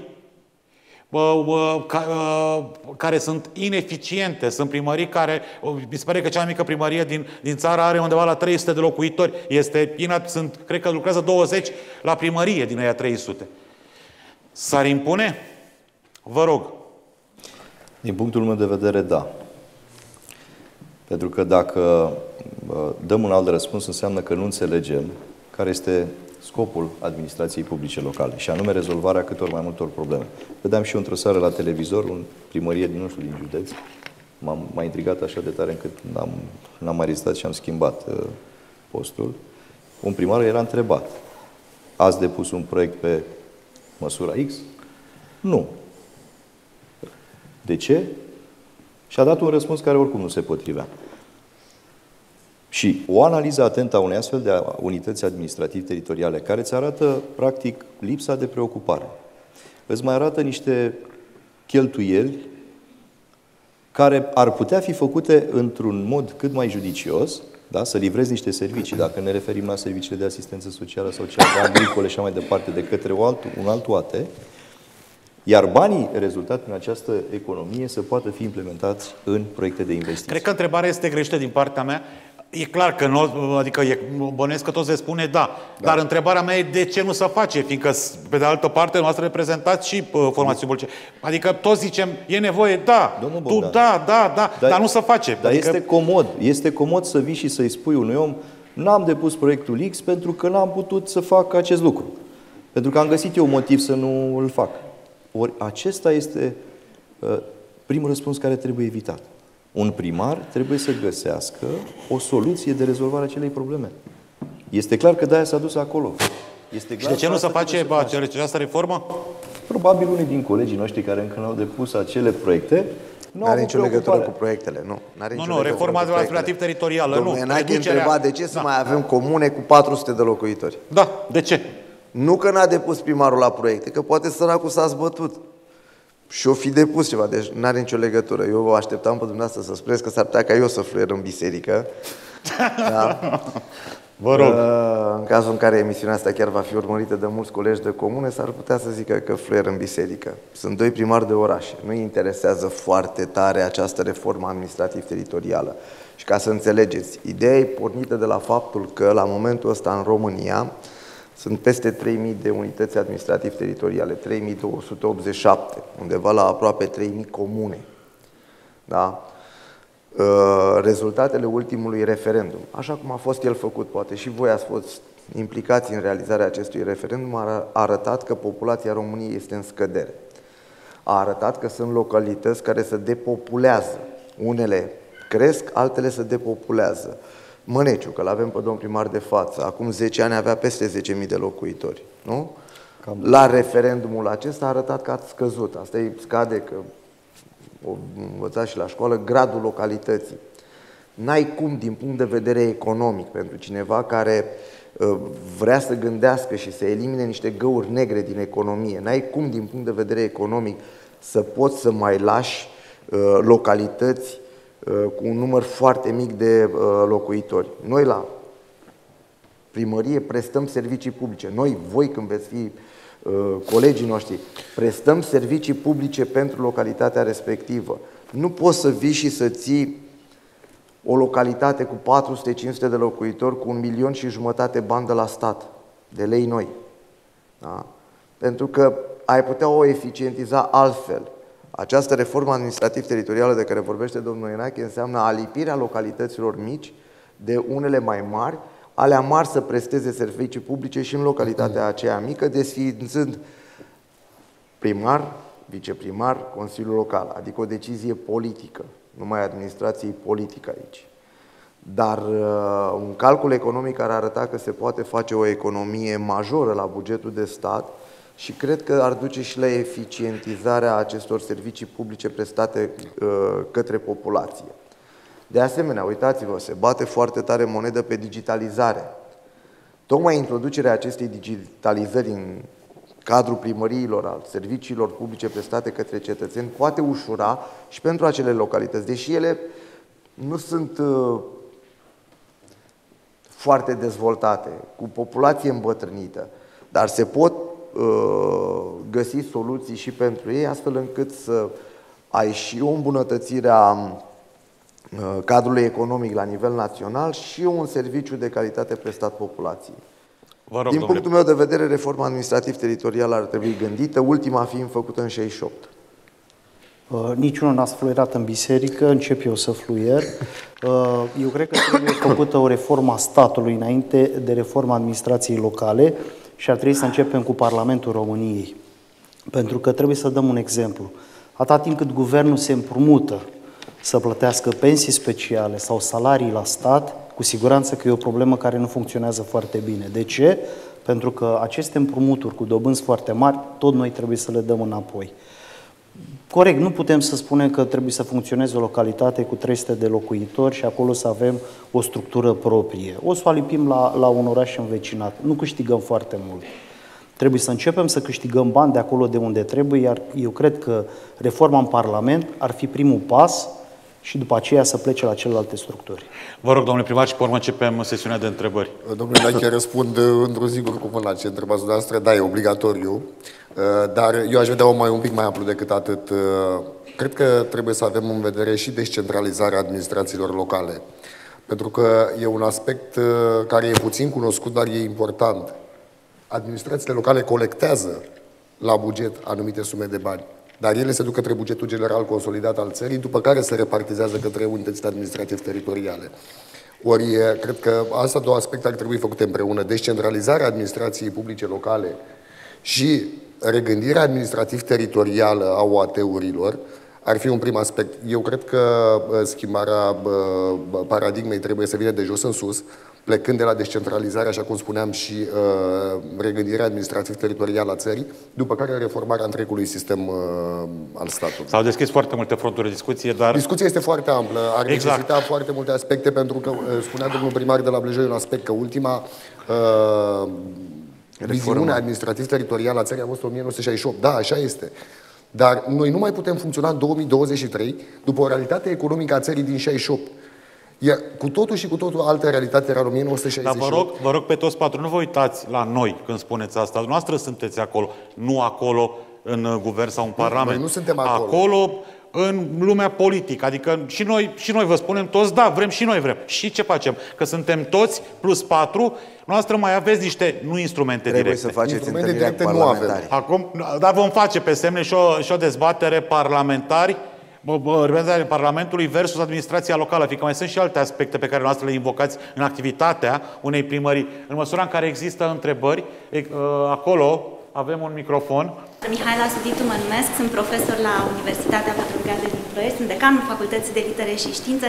Așa cum ați spus dumneavoastră la începutul discuției, în sală sunt studenții, uh, studenții Universității Un pic mai aproape de microfon. Petrol Gaze din Ploiești, centru universitar pentru acest oraș, pentru județ, pentru regiunea aceasta. Uh, Sunt studenții Facultății de Litere și Științe, toți învață uh, domeniul științe administrative. Studenții în anul întâi la științe administrative, asistențe manageriale și administrative, studenții uh, anul întâi și doi de la uh, uh, masterul uh, pe domeniul științe administrative. Noi vrem să vă mulțumim pentru invitația uh, din această seară, uh, ceea ce s-a întâmplat uh, aici, ceea ce se întâmplă aici. Uh, Spunem că este un, uh, un workshop despre bune practici în administrația locală, uh, din care studenții noștri au fără doar și poate de învățat. Aș vrea să vă spun că nu cred că se putea uh, mai bine de atât crea un spațiu uh, colaborativ, uh, un context sau contexte potrivite pentru a împărtăși uh, experiențe, experiențele dumneavoastră, care să-i ajute pe studenții noștri să-și formeze uh, o gândire administrativă sănătoasă, asta e foarte important, uh, și eficientă, uh, cu, cu perspective uh, pentru uh, succes. Sumarizez așa puțin și vă spun că uh, noi am înțeles din această discuție câteva lucruri. Am înțeles că e foarte important să uh, nu doar să vorbim, ci să și acționăm, adică mai important este să acționăm, iar acțiunile noastre să fie vizibile, măsurabile și cuantificabile pentru toți cei din jurul nostru. Uh, am învățat alături de dumneavoastră uh, din această discuție că e foarte important câteodată să spui nu, uh, dar nu, uh, nu doar critic, ci și constructiv, Uh, am învățat că este important să dezvoltăm competențe de comunicare, căci comunicarea uh, face și desface lucrurile câteodată, deci e important să avem competențe de comunicare, competențe sociale și uh, competențe, dacă vreți așa, de metacogniție, să învățăm să gândim despre propriile noastre acțiuni. Este important atunci când lucrezi în administrația publică, de asemenea, Uh, să oferi uh, cu fluență mai mare soluții decât uh, promisiuni. Eu spun că a fost un moment și este un moment foarte important și semnificativ pentru că formăm gândirea viitorilor oameni care vor participa Uh, nu doar ca lucrători, poate și ca decidenți în administrația uh, locală. Uh, și doar atât vă mai spun și las studenții să, să vă adreseze totuși câteva întrebări.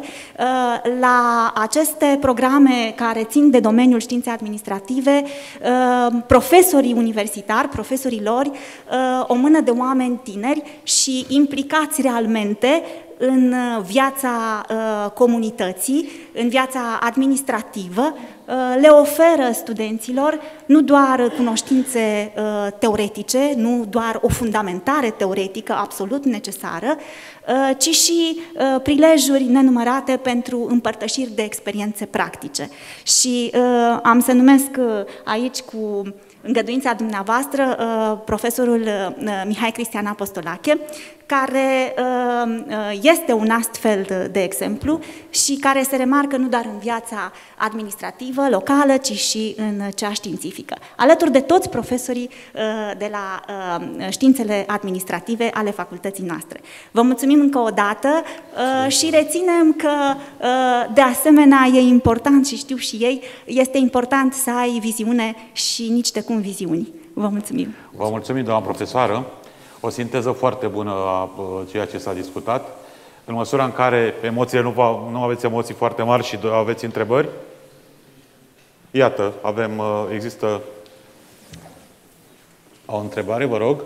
Bună seara! Bună seara! Sunt student la master anul întâi. Mă bucur că vă văd, domnilor primari. Mi-aș fi dorit să fie și o doamnă primar alături de dumnealor, politically correct. O întrebare simplă. Noi suntem toți studenți la ai Universității Petrol și Gaze. Aveți nevoie de noi? Da, vă răspund eu. Foarte, foarte interesantă bă, întrebarea. Vă da, rog. Sigur. Vă rog, domnule. O să vă răspund direct, da, avem nevoie de dumneavoastră și chiar vă rugăm să veniți alături de noi și în completarea cuvintelor frumoase spuse anterior de doamna profesor, care îi mulțumesc pentru gândurile frumoase, recunosc că m-ați emoționat. Uh, aș vrea să spun un aspect și cred că în completarea ceea ce a spus e oarecum și ca o concluzie. Cred că nu greșesc dacă spun că noi cei prezenți în această seară alături de dumneavoastră provenim din mediul privat.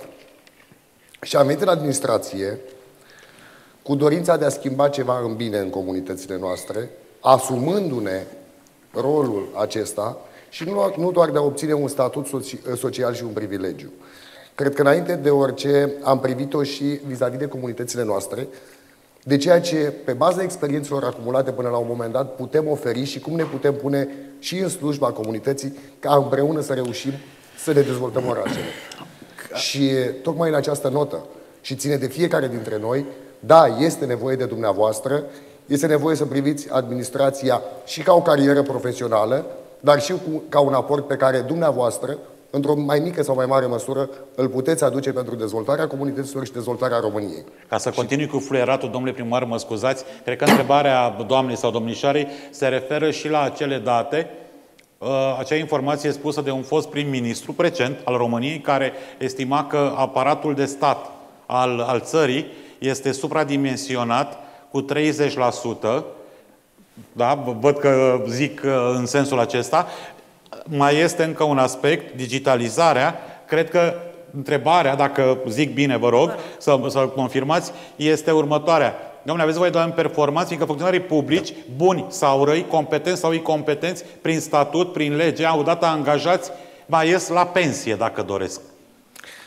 Nu put, aici vin un pic în completarea ce spunea și colegul de la Măneciu și, și eu sunt în aceeași situație în care am preluat o echipă a primăriei pe care n-am modificat-o, dar am reușit ca împreună cu ea să performăm până la acest moment.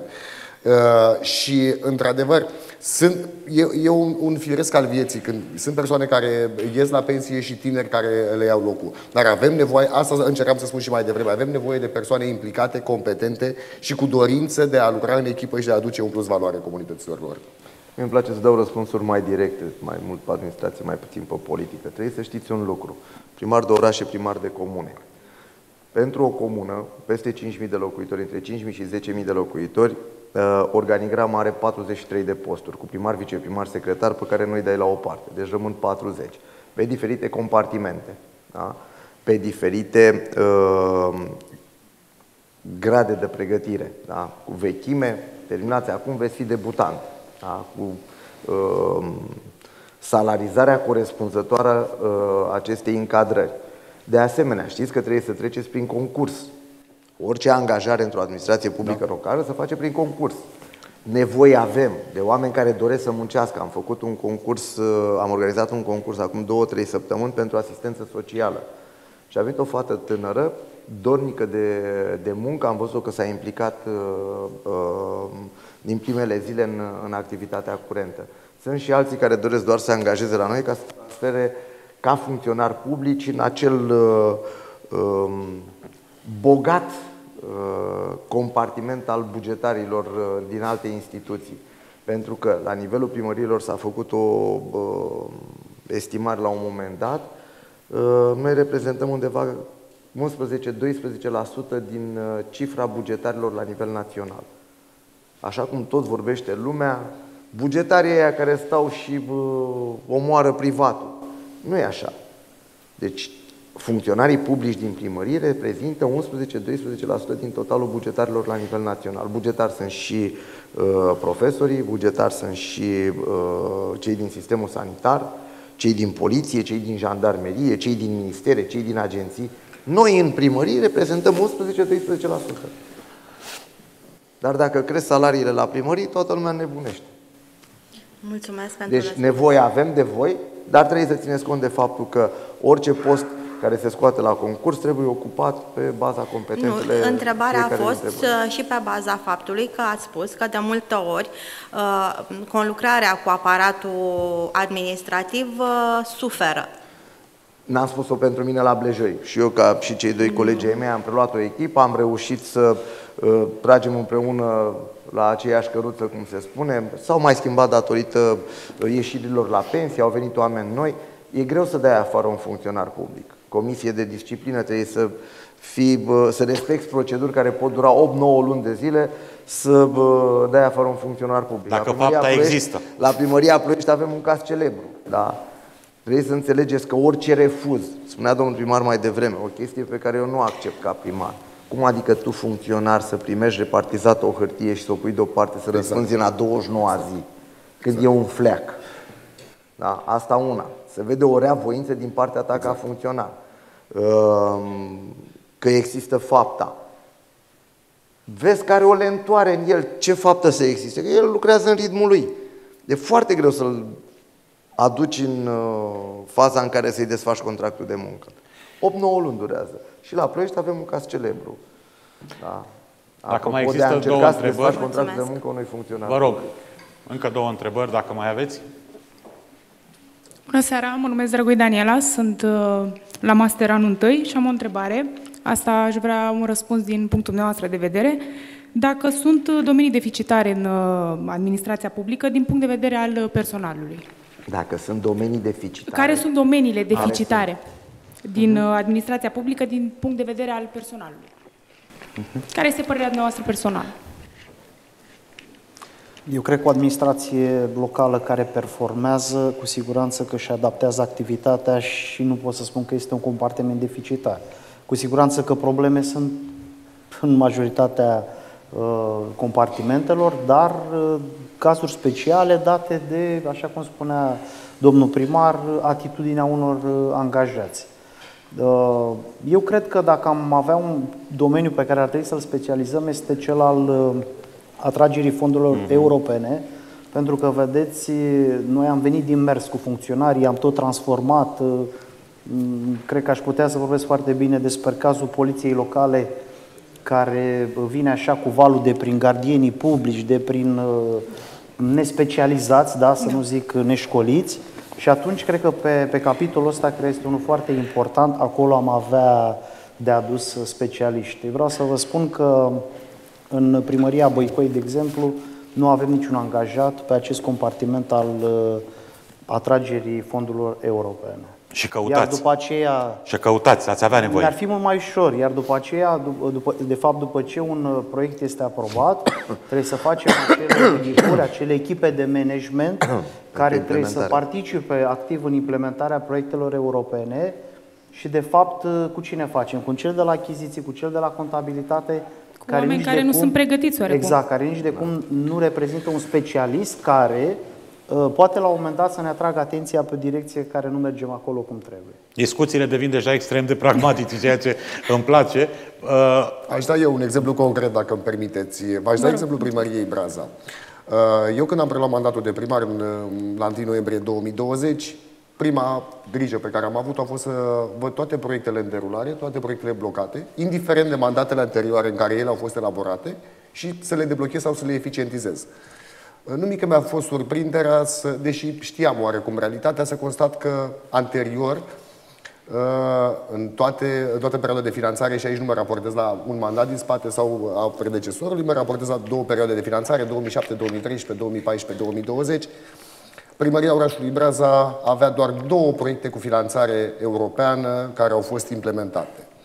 Uh, în echipa de implementare a proiectelor de atragere a fondurilor europene n-am uh, modificat uh, structura acelui departament, cu o singură excepție, o colegă a plecat la pensie și s-a angajat o persoană tânără în locul dumnei. Dar aceeași echipă, în perioada de la preluarea mandatului și până astăzi, doar pe PNRR avem 11 contracte deja semnate și care se implementează, în valoare totală de peste 10 milioane de euro. Și de asta vă spuneam și la funcționarii publici, diferă de la funcționar la funcționar. Uh, și aici este o viziune un pic eronată când îi privim pe toți la grămadă și toți funcționarii publici sunt la fel. Nu, nu este adevărat. Cum în nicio uh, profesie nu este adevărat că toți sunt într-o manieră sau în alta. Sunt oameni uh, dornici uh, de implicare, de activitate, cum sunt convins că o să fiți și voi după ce terminați facultatea. Dar la fel sunt și persoane care nu înțeleg că au și o responsabilitate și atunci este rolul nostru al primarilor să descurajăm aceste comportamente și să le eliminăm din echipele noastre. Am înțeles. Mulțumesc mult pentru răspuns. Am înțeles că mai există o întrebare și uh, vă rog.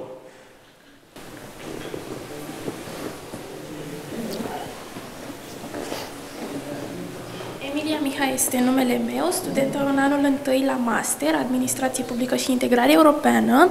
Am venit la dumneavoastră cu o întrebare ce pupă mai bine din partea a teoriei cu practica, adică m-ar interesa mai exact cum calificați dumneavoastră actualul cadru normativ în administrația publică locală, mai exact codul administrativ?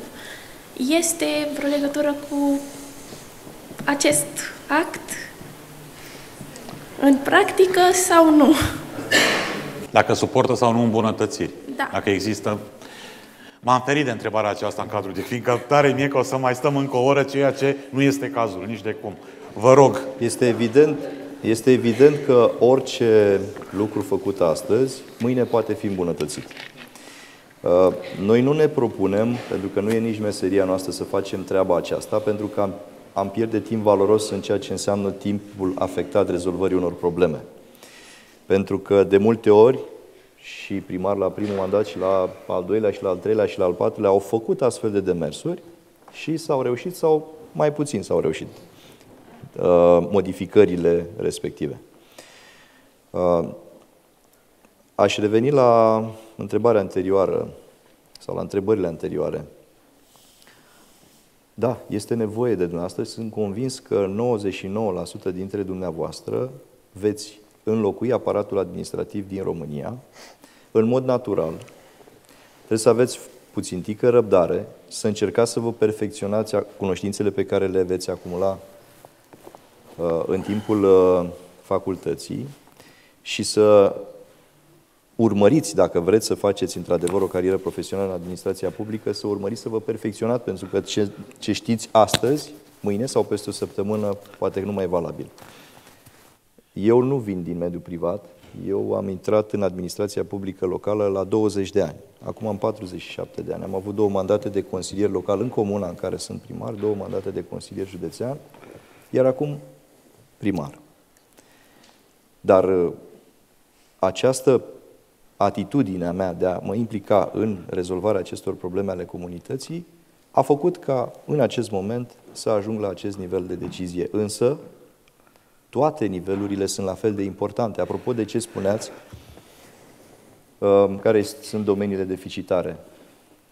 Dacă încerci să te organizezi și îți pierzi timpul cu organizarea, s-ar putea să nu mai rezolvi problemele în timp util, pentru că asta ne dorim cu toți, exact cum vă spuneam, să livrăm niște rezultate. La Măneciu, cred că la fel și ca și la Breaza, nu aveam nici măcar un angajat care să fie încadrat strict pentru implementarea fondurilor europene. Acum avem unul, dar la aceste proiecte lucrează toată lumea care dorește să lucreze. Și chiar dacă sunt compartimente care nu sunt implicate direct în activitatea de implementare a unui proiect cu fonduri europene, nu înseamnă că nu sunt importante. Sunt la fel de importante pentru că atâta timp cât acei colegi care ajută la proiectul respectiv cu banii europeni, uh, dacă activitatea celorlalți funcționari merge bine și, și cetățenii sunt mulțumiți de activitatea lor, asta înseamnă că nouă, primarului, viceprimarului, aparatului de conducere, ne oferă timp suficient pentru implementarea acelui proiect. Dacă nu și-ar face treaba un funcționar de la compartimentul agricol, de exemplu, atunci s-ar crea o altă problemă și tot acest sistem s-ar dezechilibra. Deci eu cred că fiecare compartiment este foarte important, poate fi îmbunătățit, dar nu uitați că revenim la problema anterioară. Avem un cadru legal care ne spune, așa cum spunea domnul primar, un număr de angajați pe care trebuie să-l respectăm pentru că trebuie să respectăm legea și mai avem o problemă legată de încărcarea financiară a bugetului și noi, ca primar, trebuie să ne uităm cât la sută din bugetul comunității se duce pe funcționare și cât se duce pe investiții și ne dorim ca această cheltuială discuție extrem de interesantă. să fie echilibrată. Ne apropiem de final. Vă rog, domnule avocat Bogdan Novac, codul administrativ. Chiar de această perspectivă vreau să vă răspund. Înțeleg foarte bine întrebarea dumneavoastră. Pot să vă spun că nu există, nu doar în România, nicăieri în lume, lege perfectă. Legea este perfectibilă și a tot timpul trebuie să adapteze realității uh, de la un anumit moment. În schimb, pot să vă spun cu certitudine că cel puțin noi cei de aici respectăm în totalitate codul administrativ, care nu de puține ori ne îngreunează în activitatea noastră și ne obligă la parcurgerea unor proceduri mai mult decât birocratice, dar îl respectăm și indiferent de uh, greutatea unui moment sau de cât de disonanță suntem cu o prevedere legală, noi o respectăm. Nu avem capacitatea Dar e prost și sau bun? Nu, uh, este perfectibil. Poate fi îmbunătățit. Și putem să-l perfecționăm? Putem să-l perfecționăm uh, Prin față de legislația care anterioară. Vorbeam, o să facem dezbateri. Față de legislația anterioară, eu văd că este o evoluție în legislație, cu administrativ. Uh, da, el poate fi îmbunătățit și trebuie îmbunătățit. Au fost și decizii ale Curții Constituționale de sancționare a codului administrativ, uh-huh. dar asta uh, insist pe acest aspect, că vorbeam mai devreme de măsuri nepopulare și de respectarea legii. Că ne convine, că nu ne convine, că ne îngreunează sau nu o prevedere legală, prima obligație pe care o avem este să respectăm acea obligație legală în vigoare la un, la un anumit moment dat, până la schimbarea ei. După care ne adaptăm la uh, legislația. Uh, ultima întrebare, vă rog. Vă rog, vă rog, domnule. Eu am uh, trecut și prin faza în care uh, era 215 cu statutul aleșilor local, cu nu știu mai ce. Uh, în afară de domnul primar de la Măneciu, noi venim din mediul privat. eu n-ar trebui, nu e o școală de primari. Există la vreo universitate școală să fii primar? Nu. Ne-am dorit să candidăm, să schimbăm în bine uh, viața cetățenilor din comunitățile noastre, să schimbăm comunitatea. Dar eu n-am de unde să știu ce înseamnă 215, dacă știu să citesc, o citesc. Ați văzut și voi primari, tractoristul din comună sau dascălul din sat că se ducea cu cădelnița și îl vota lumea primar. El nu trebuie să știe neapărat toate legile ca să poată să fie, uh, să nu ia decizii greșite, să nu fie responsabil prin omisiune. S-a dorit, până la apariția acestui cod administrativ, comasarea tuturor legilor. Că bă, dăm și mie o lege pe care și dacă e tractorist, și dacă e preot, și dacă e bețivul satului, să o citească, să nu greșească. Și s-au cumulat toate legile care uh, erau pentru administrația publică locală, locală în acest cod administrativ. E mai bine decât e înainte. Dar e clar că este perfectibil, are lacune, am constatat asta la momentul în care au fost alegerile locale din 2020 cu tot ceea ce a însemnat uh, depunerea jurământului de către primar, când uh, s-au uh, pus consilierii locali cu aprobarea judecătoriei. Deci are lacune. E clar că trebuie făcută o modificare. N-am văzut până acum aplecare către așa ceva. E mai bine decât ce era până în 2020, dar clar trebuie lucrat la el și îmbunătățit.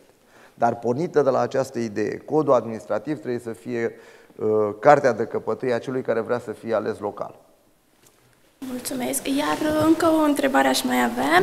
În legătură cu anexa 1 a codului administrativ, uh, monitorul oficial local, ce părere aveți despre această transparență decizională a actelor administrative?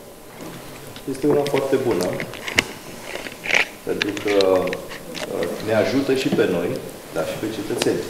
Orice decizie administrativă este luată, dacă este cunoscută din timp, poate fi mai ușor înțeleasă. Mai există o prevedere uh, legislativă vis-a-vis -vis de transparența decizională și din uh, acel text de legere este că noi primarii suntem obligați să facem o conferință de comunicare o dată pe lună. Uh, aici domnul Bogdan ne poate confirma că este foarte greu să trimiți câte un reprezentant mass media la fiecare primărie și să facă uh, respectivul uh, jurnalist o sinteză a problemelor respective. Noi la Măneciu am procedat prin uh, publicarea unui ziar local de 2500 de exemplare și această apariție lunară ne ajută să comunicăm deciziile și problemele pe care le luăm. Este foarte bun monitorul oficial. Sperăm, sper, sperăm să fie îmbunătățit cadrul publicării lui într-un, uh, într-un mod mult mai, mai avantajos. Pentru că puteți și dumneavoastră face o analiză să vedeți sunt majoritatea primăriilor au implementare acest proiect. Dar este interesant de văzut câte accesări au aceste monitoare. Foarte puține, sau? Foarte puțin. Foarte puțin. Așadar, interesul public, pe să ne doar cei de specialitate să mai uită. Mulțumesc frumos! Și noi mulțumim. Mai ultima întrebare, uh, vă rog. Am zis noi o oră, dar nu ne iese. Încă una, da. Deci mai ultimele două întrebări și bă, încheiem în această seară. E clar că e nevoie de dezbateri. Vă rog.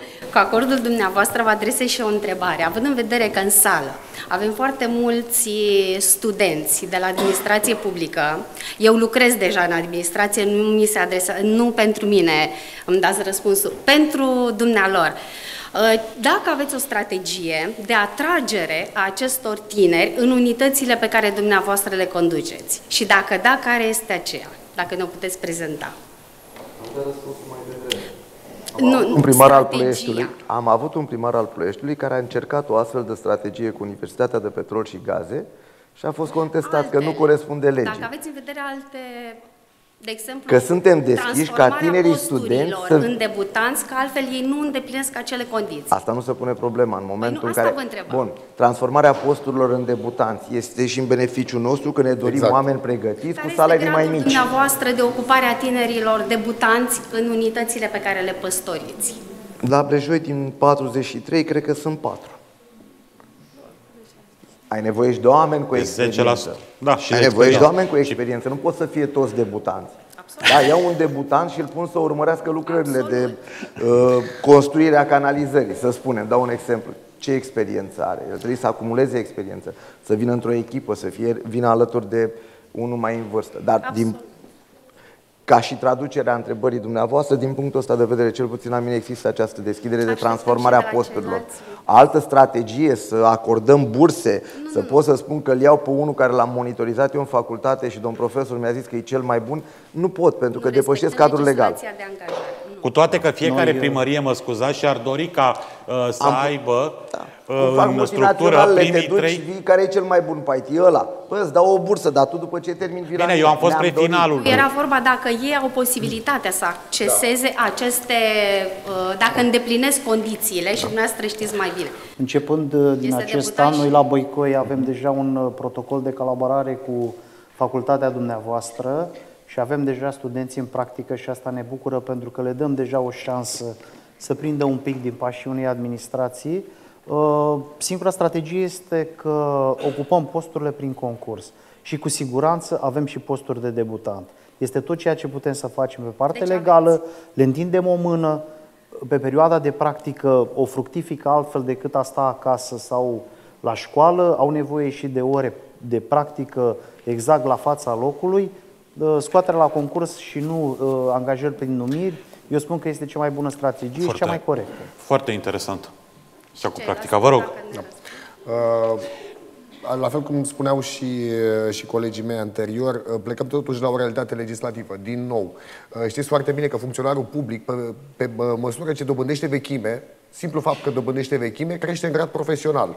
Obligatoriu, în momentul în care dă examenul pentru promovare în grad profesional, se transformă și funcția respectivă. La momentul la care se vacantează, el rămâne la gradul superior, la gradul maxim. Dar da, noi asta facem când se vacantează pentru posturile care sunt pliabile, pentru că sunt și posturi, cum spunea și domnul primar de la Blejoi, unde ai nevoie de experiență, oricât ți-ai dori. Vă dau un exemplu, nu poți să vii pentru un șef de departament cu un debutant și nu că n-ar avea competențe, dar știm cu toții foarte bine că teoria e una, practica este alta. Pentru a accede într-o funcție de conducere, este firesc și este absolut normal să dobândești o experiență. Puteam să începem cu veștile rele la început, ca să terminăm Pentru toate fericiți. celelalte posturi, da, avem toată deschiderea, le readucem la gradul incipient pentru a putea fi destinate tinerilor și la fel cum uh, și la Băicoi se procesează și la Primăria Breaza, am, am încercat să atragem cât mai mulți tineri în practică și uh, mai e o realitate, haideți să o recunoaștem. Au fost, uh, a fost o perioadă când se eliberau acele adeverințe de practică fără să treacă nimeni pe acolo. Nu facem așa ceva. Nu. Și studenții trebuie să înțeleagă că din practica respectivă ei dobândesc o experiență. Avem toată deschiderea, îi sprijinim, le oferim chiar mai mult decât cer, dar avem și noi pretenția să fie prezenți efectiv acolo, să vadă măcar cum funcționează primăria, dacă vor să facă practică în primăria Brazna. Vă rog, ultima... Și la, și la, Vă rog, scuzați-mă, da. la Măneciu avem uh, an de an debutanți angajați în aparatul administrativ. Anul acesta și chiar suntem în procedura de ocupare a două posturi, unul de muncitor și unul de asistent medical. Uh, dar atenție, uh, astăzi ești debutant, mâine ești superior, după aia ești principal, după aia ajungi să fii cu vechime foarte multă pe post și intervine oarecare comoditate, intervine oarecare rutină. Dar și experiență care experiență, te ajută, da. te ajută să rezolvi mai repede și, lucrurile. Uh, eu, eu, vă, eu vă relatez din ceea ce întâlnim noi uh, A. acum concret. Indiferent de etapa profesională în care vă desfășurați activitatea, contează foarte mult adaptabilitatea. Am observat, chiar la 5 ani înainte de pensionare, oameni care au acceptat în domeniul pe care îl desfășoară, în postul pe care îl desfășoară, o idee nouă, o perfecționare a activității, o informatizare a activității. Și asta este cel mai important lucru pe care noastră trebuie să-l înțelegeți, pentru că timpul trece, noi evoluăm, societatea evoluează, apar noi metode, apar noi pra, uh, uh, provocări pentru sistemul administrației publice locale, importantă este această adaptabilitate. Și aici, dumneavoastră, și foarte bine a spus doamna profesor, uh, și sunt convins că aveți parte la cursuri de aceste chestiuni, uh, îl cunosc foarte bine pe prietenul și colegul meu, domnul profesor Apostolache, și știu că ceea ce contează foarte mult este să vă învețe să învățați, să vă adaptați, să vă îmbunătățiți uh, activitatea profesională zi de zi. Asta contează. Iar oportunitățile legate de strategie. Degeaba îmi fac eu la Măneciu sau la uh, uh, Breaza sau la Blejoi o strategie. Dacă mâine apare un act normativ care spune se blochează angajarea posturilor pe un an de zile. Încă o dată, avem două variante. Să încercăm să schimbăm ceea ce nu putem să schimbăm sau să încercăm să folosim ceea ce avem în interesul cetățenilor, să rezolvăm problemele lor cu ceea ce ni se dă. Noi asta facem. Și de multe ori, exact cum spune și domnul primar, nu este foarte ușor. Ne-am asumat și ne asumăm aceste, aceste lucruri și de multe ori ai o satisfacție enormă atunci când uh, vezi efectiv realizându-se ceva. Dar este și normal, dacă îi faci cadou cuiva un lucru foarte important, sunt oameni care tot mai găsește el acolo ceva și spune, mai trebuia ceva. Vă rog, ultima întrebare. Bran Lavinia este numele meu, student masterand în cadrul Facultății de Administrație Publică. Întrebarea mea este următoarea. Cum ați vedea dumneavoastră simplificarea procedurilor de accesare a fondurilor europene și totodată cu ce propunere ar trebui să vină prefecturile către guvern pentru a reduce birocrația în implementarea și aprobarea proiectelor pe fonduri europene? Uh, mulți pași s-au făcut. De exemplu, în mandatele anterioare, primarii trebuiau să meargă cu o documentație stufoasă chiar la sediul Ministerului unde uh, se putea depune proiectul. Uh, acum, cel puțin, lucrurile din acest punct de vedere stau altfel în sensul că trimiți documentația în format electronic, încalci pe o platformă informa informațională toate documentele respective și asta ajută foarte mult. Se pot face uh, foarte multe îmbunătățiri, dar nu trebuie să uităm un lucru. Uh, sunt 3200 și câțiva primari în toată România. Sunt funcționari, acei funcționari care se spune că sunt mulți, care la rândul lor au un job, acela de a selecționa, de a analiza și selecționa proiectele pe care noi le depunem. Măneciu are 9 proiecte aprobate. Breaza are 11 sau 12 cât are și sunt convins că și ceilalți domn primari au uh, multe proiecte depuse. Ele trebuie toate analizate, trebuie toate cântărite și din păcate, uh, fizic vorbind, este foarte greu. Noi înțelegem acest lucru. Dacă v-am spus că uh, am depus un proiect în luna septembrie și am obținut aprobarea la un an de zile sau la 12 luni, am spus-o nu cu, cu tentă critică. Am spus-o doar pentru că noi toți și, și cetățenii trebuie să înțeleagă această realitate. Cu toții ne-am dorit să depunem proiectul luna aceasta și peste uh, o lună de zile să obținem aprobarea. S-au făcut pași inclusiv în ceea ce înseamnă avizele de care noi vorbim. Și, de exemplu, dacă de la momentul încheierii contractului de finanțare până la momentul limită, de obicei 3 luni sau 90 de zile sau 60 de zile, termen în care trebuie să încarci o documentație pe un portal informatic, nu obții avizul de la, avizul de la instituția X, poți încărca cererea de solicitare de eliberare a avizului respectiv, ceea ce este un mare atu, urmând ca el să fie primit până în momentul în care închei contractul de execuție a lucrelor. Încă o dată, până la urmă pe dumneavoastră vă privesc foarte mult aceste lucruri. Pe noi, primarii, ne privesc doar în interiorul primăriei. Oamenii sunt interesați de ceea ce livrăm. De aceea, dacă trebuie făcut ceva, da, trebuie să fie făcut, să pornească de la noi. Depinde ce abordare avem. Dacă ne mulțumim să spunem, nu pot, pentru că procedura nu mă lasă, n-am rezolvat nimic. O să vă rog să sintetizăm, suntem pe ultimele, ultimele două minute Mulțumesc. ale acestei dezbateri. Vă rog, domnule primar. Uh, eu v-aș da un exemplu concret. Uh, discuția este foarte amplă, pentru că procedurile uh, de accesare a fondurilor europene, toate etapele legale obligatorii la acest moment care trebuie să parcurse, de fapt, astea duc la tergiversarea implementării și, cum spunea foarte bine colegul primar de, de la Băicoi, risca la un moment dat, când ajunge efectiv la implementare, acei indicatori tehnico-economici să nu mai fie actuali, pentru că evoluția este destul de mare în 2 ani de zile. Uh, dar ca să răspund punctual la întrebarea noastră, eu aș avea o solicitare vis-a-vis -vis de o posibilă revizuire a HG 906.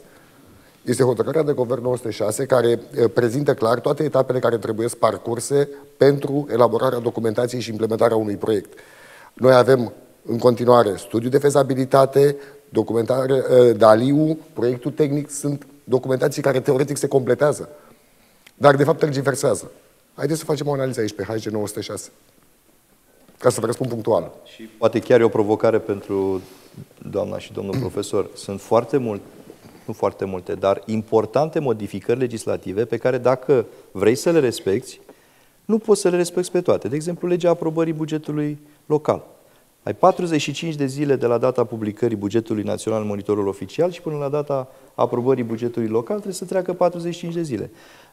Timp în care trebuie să respecti legea privind transparența decizională.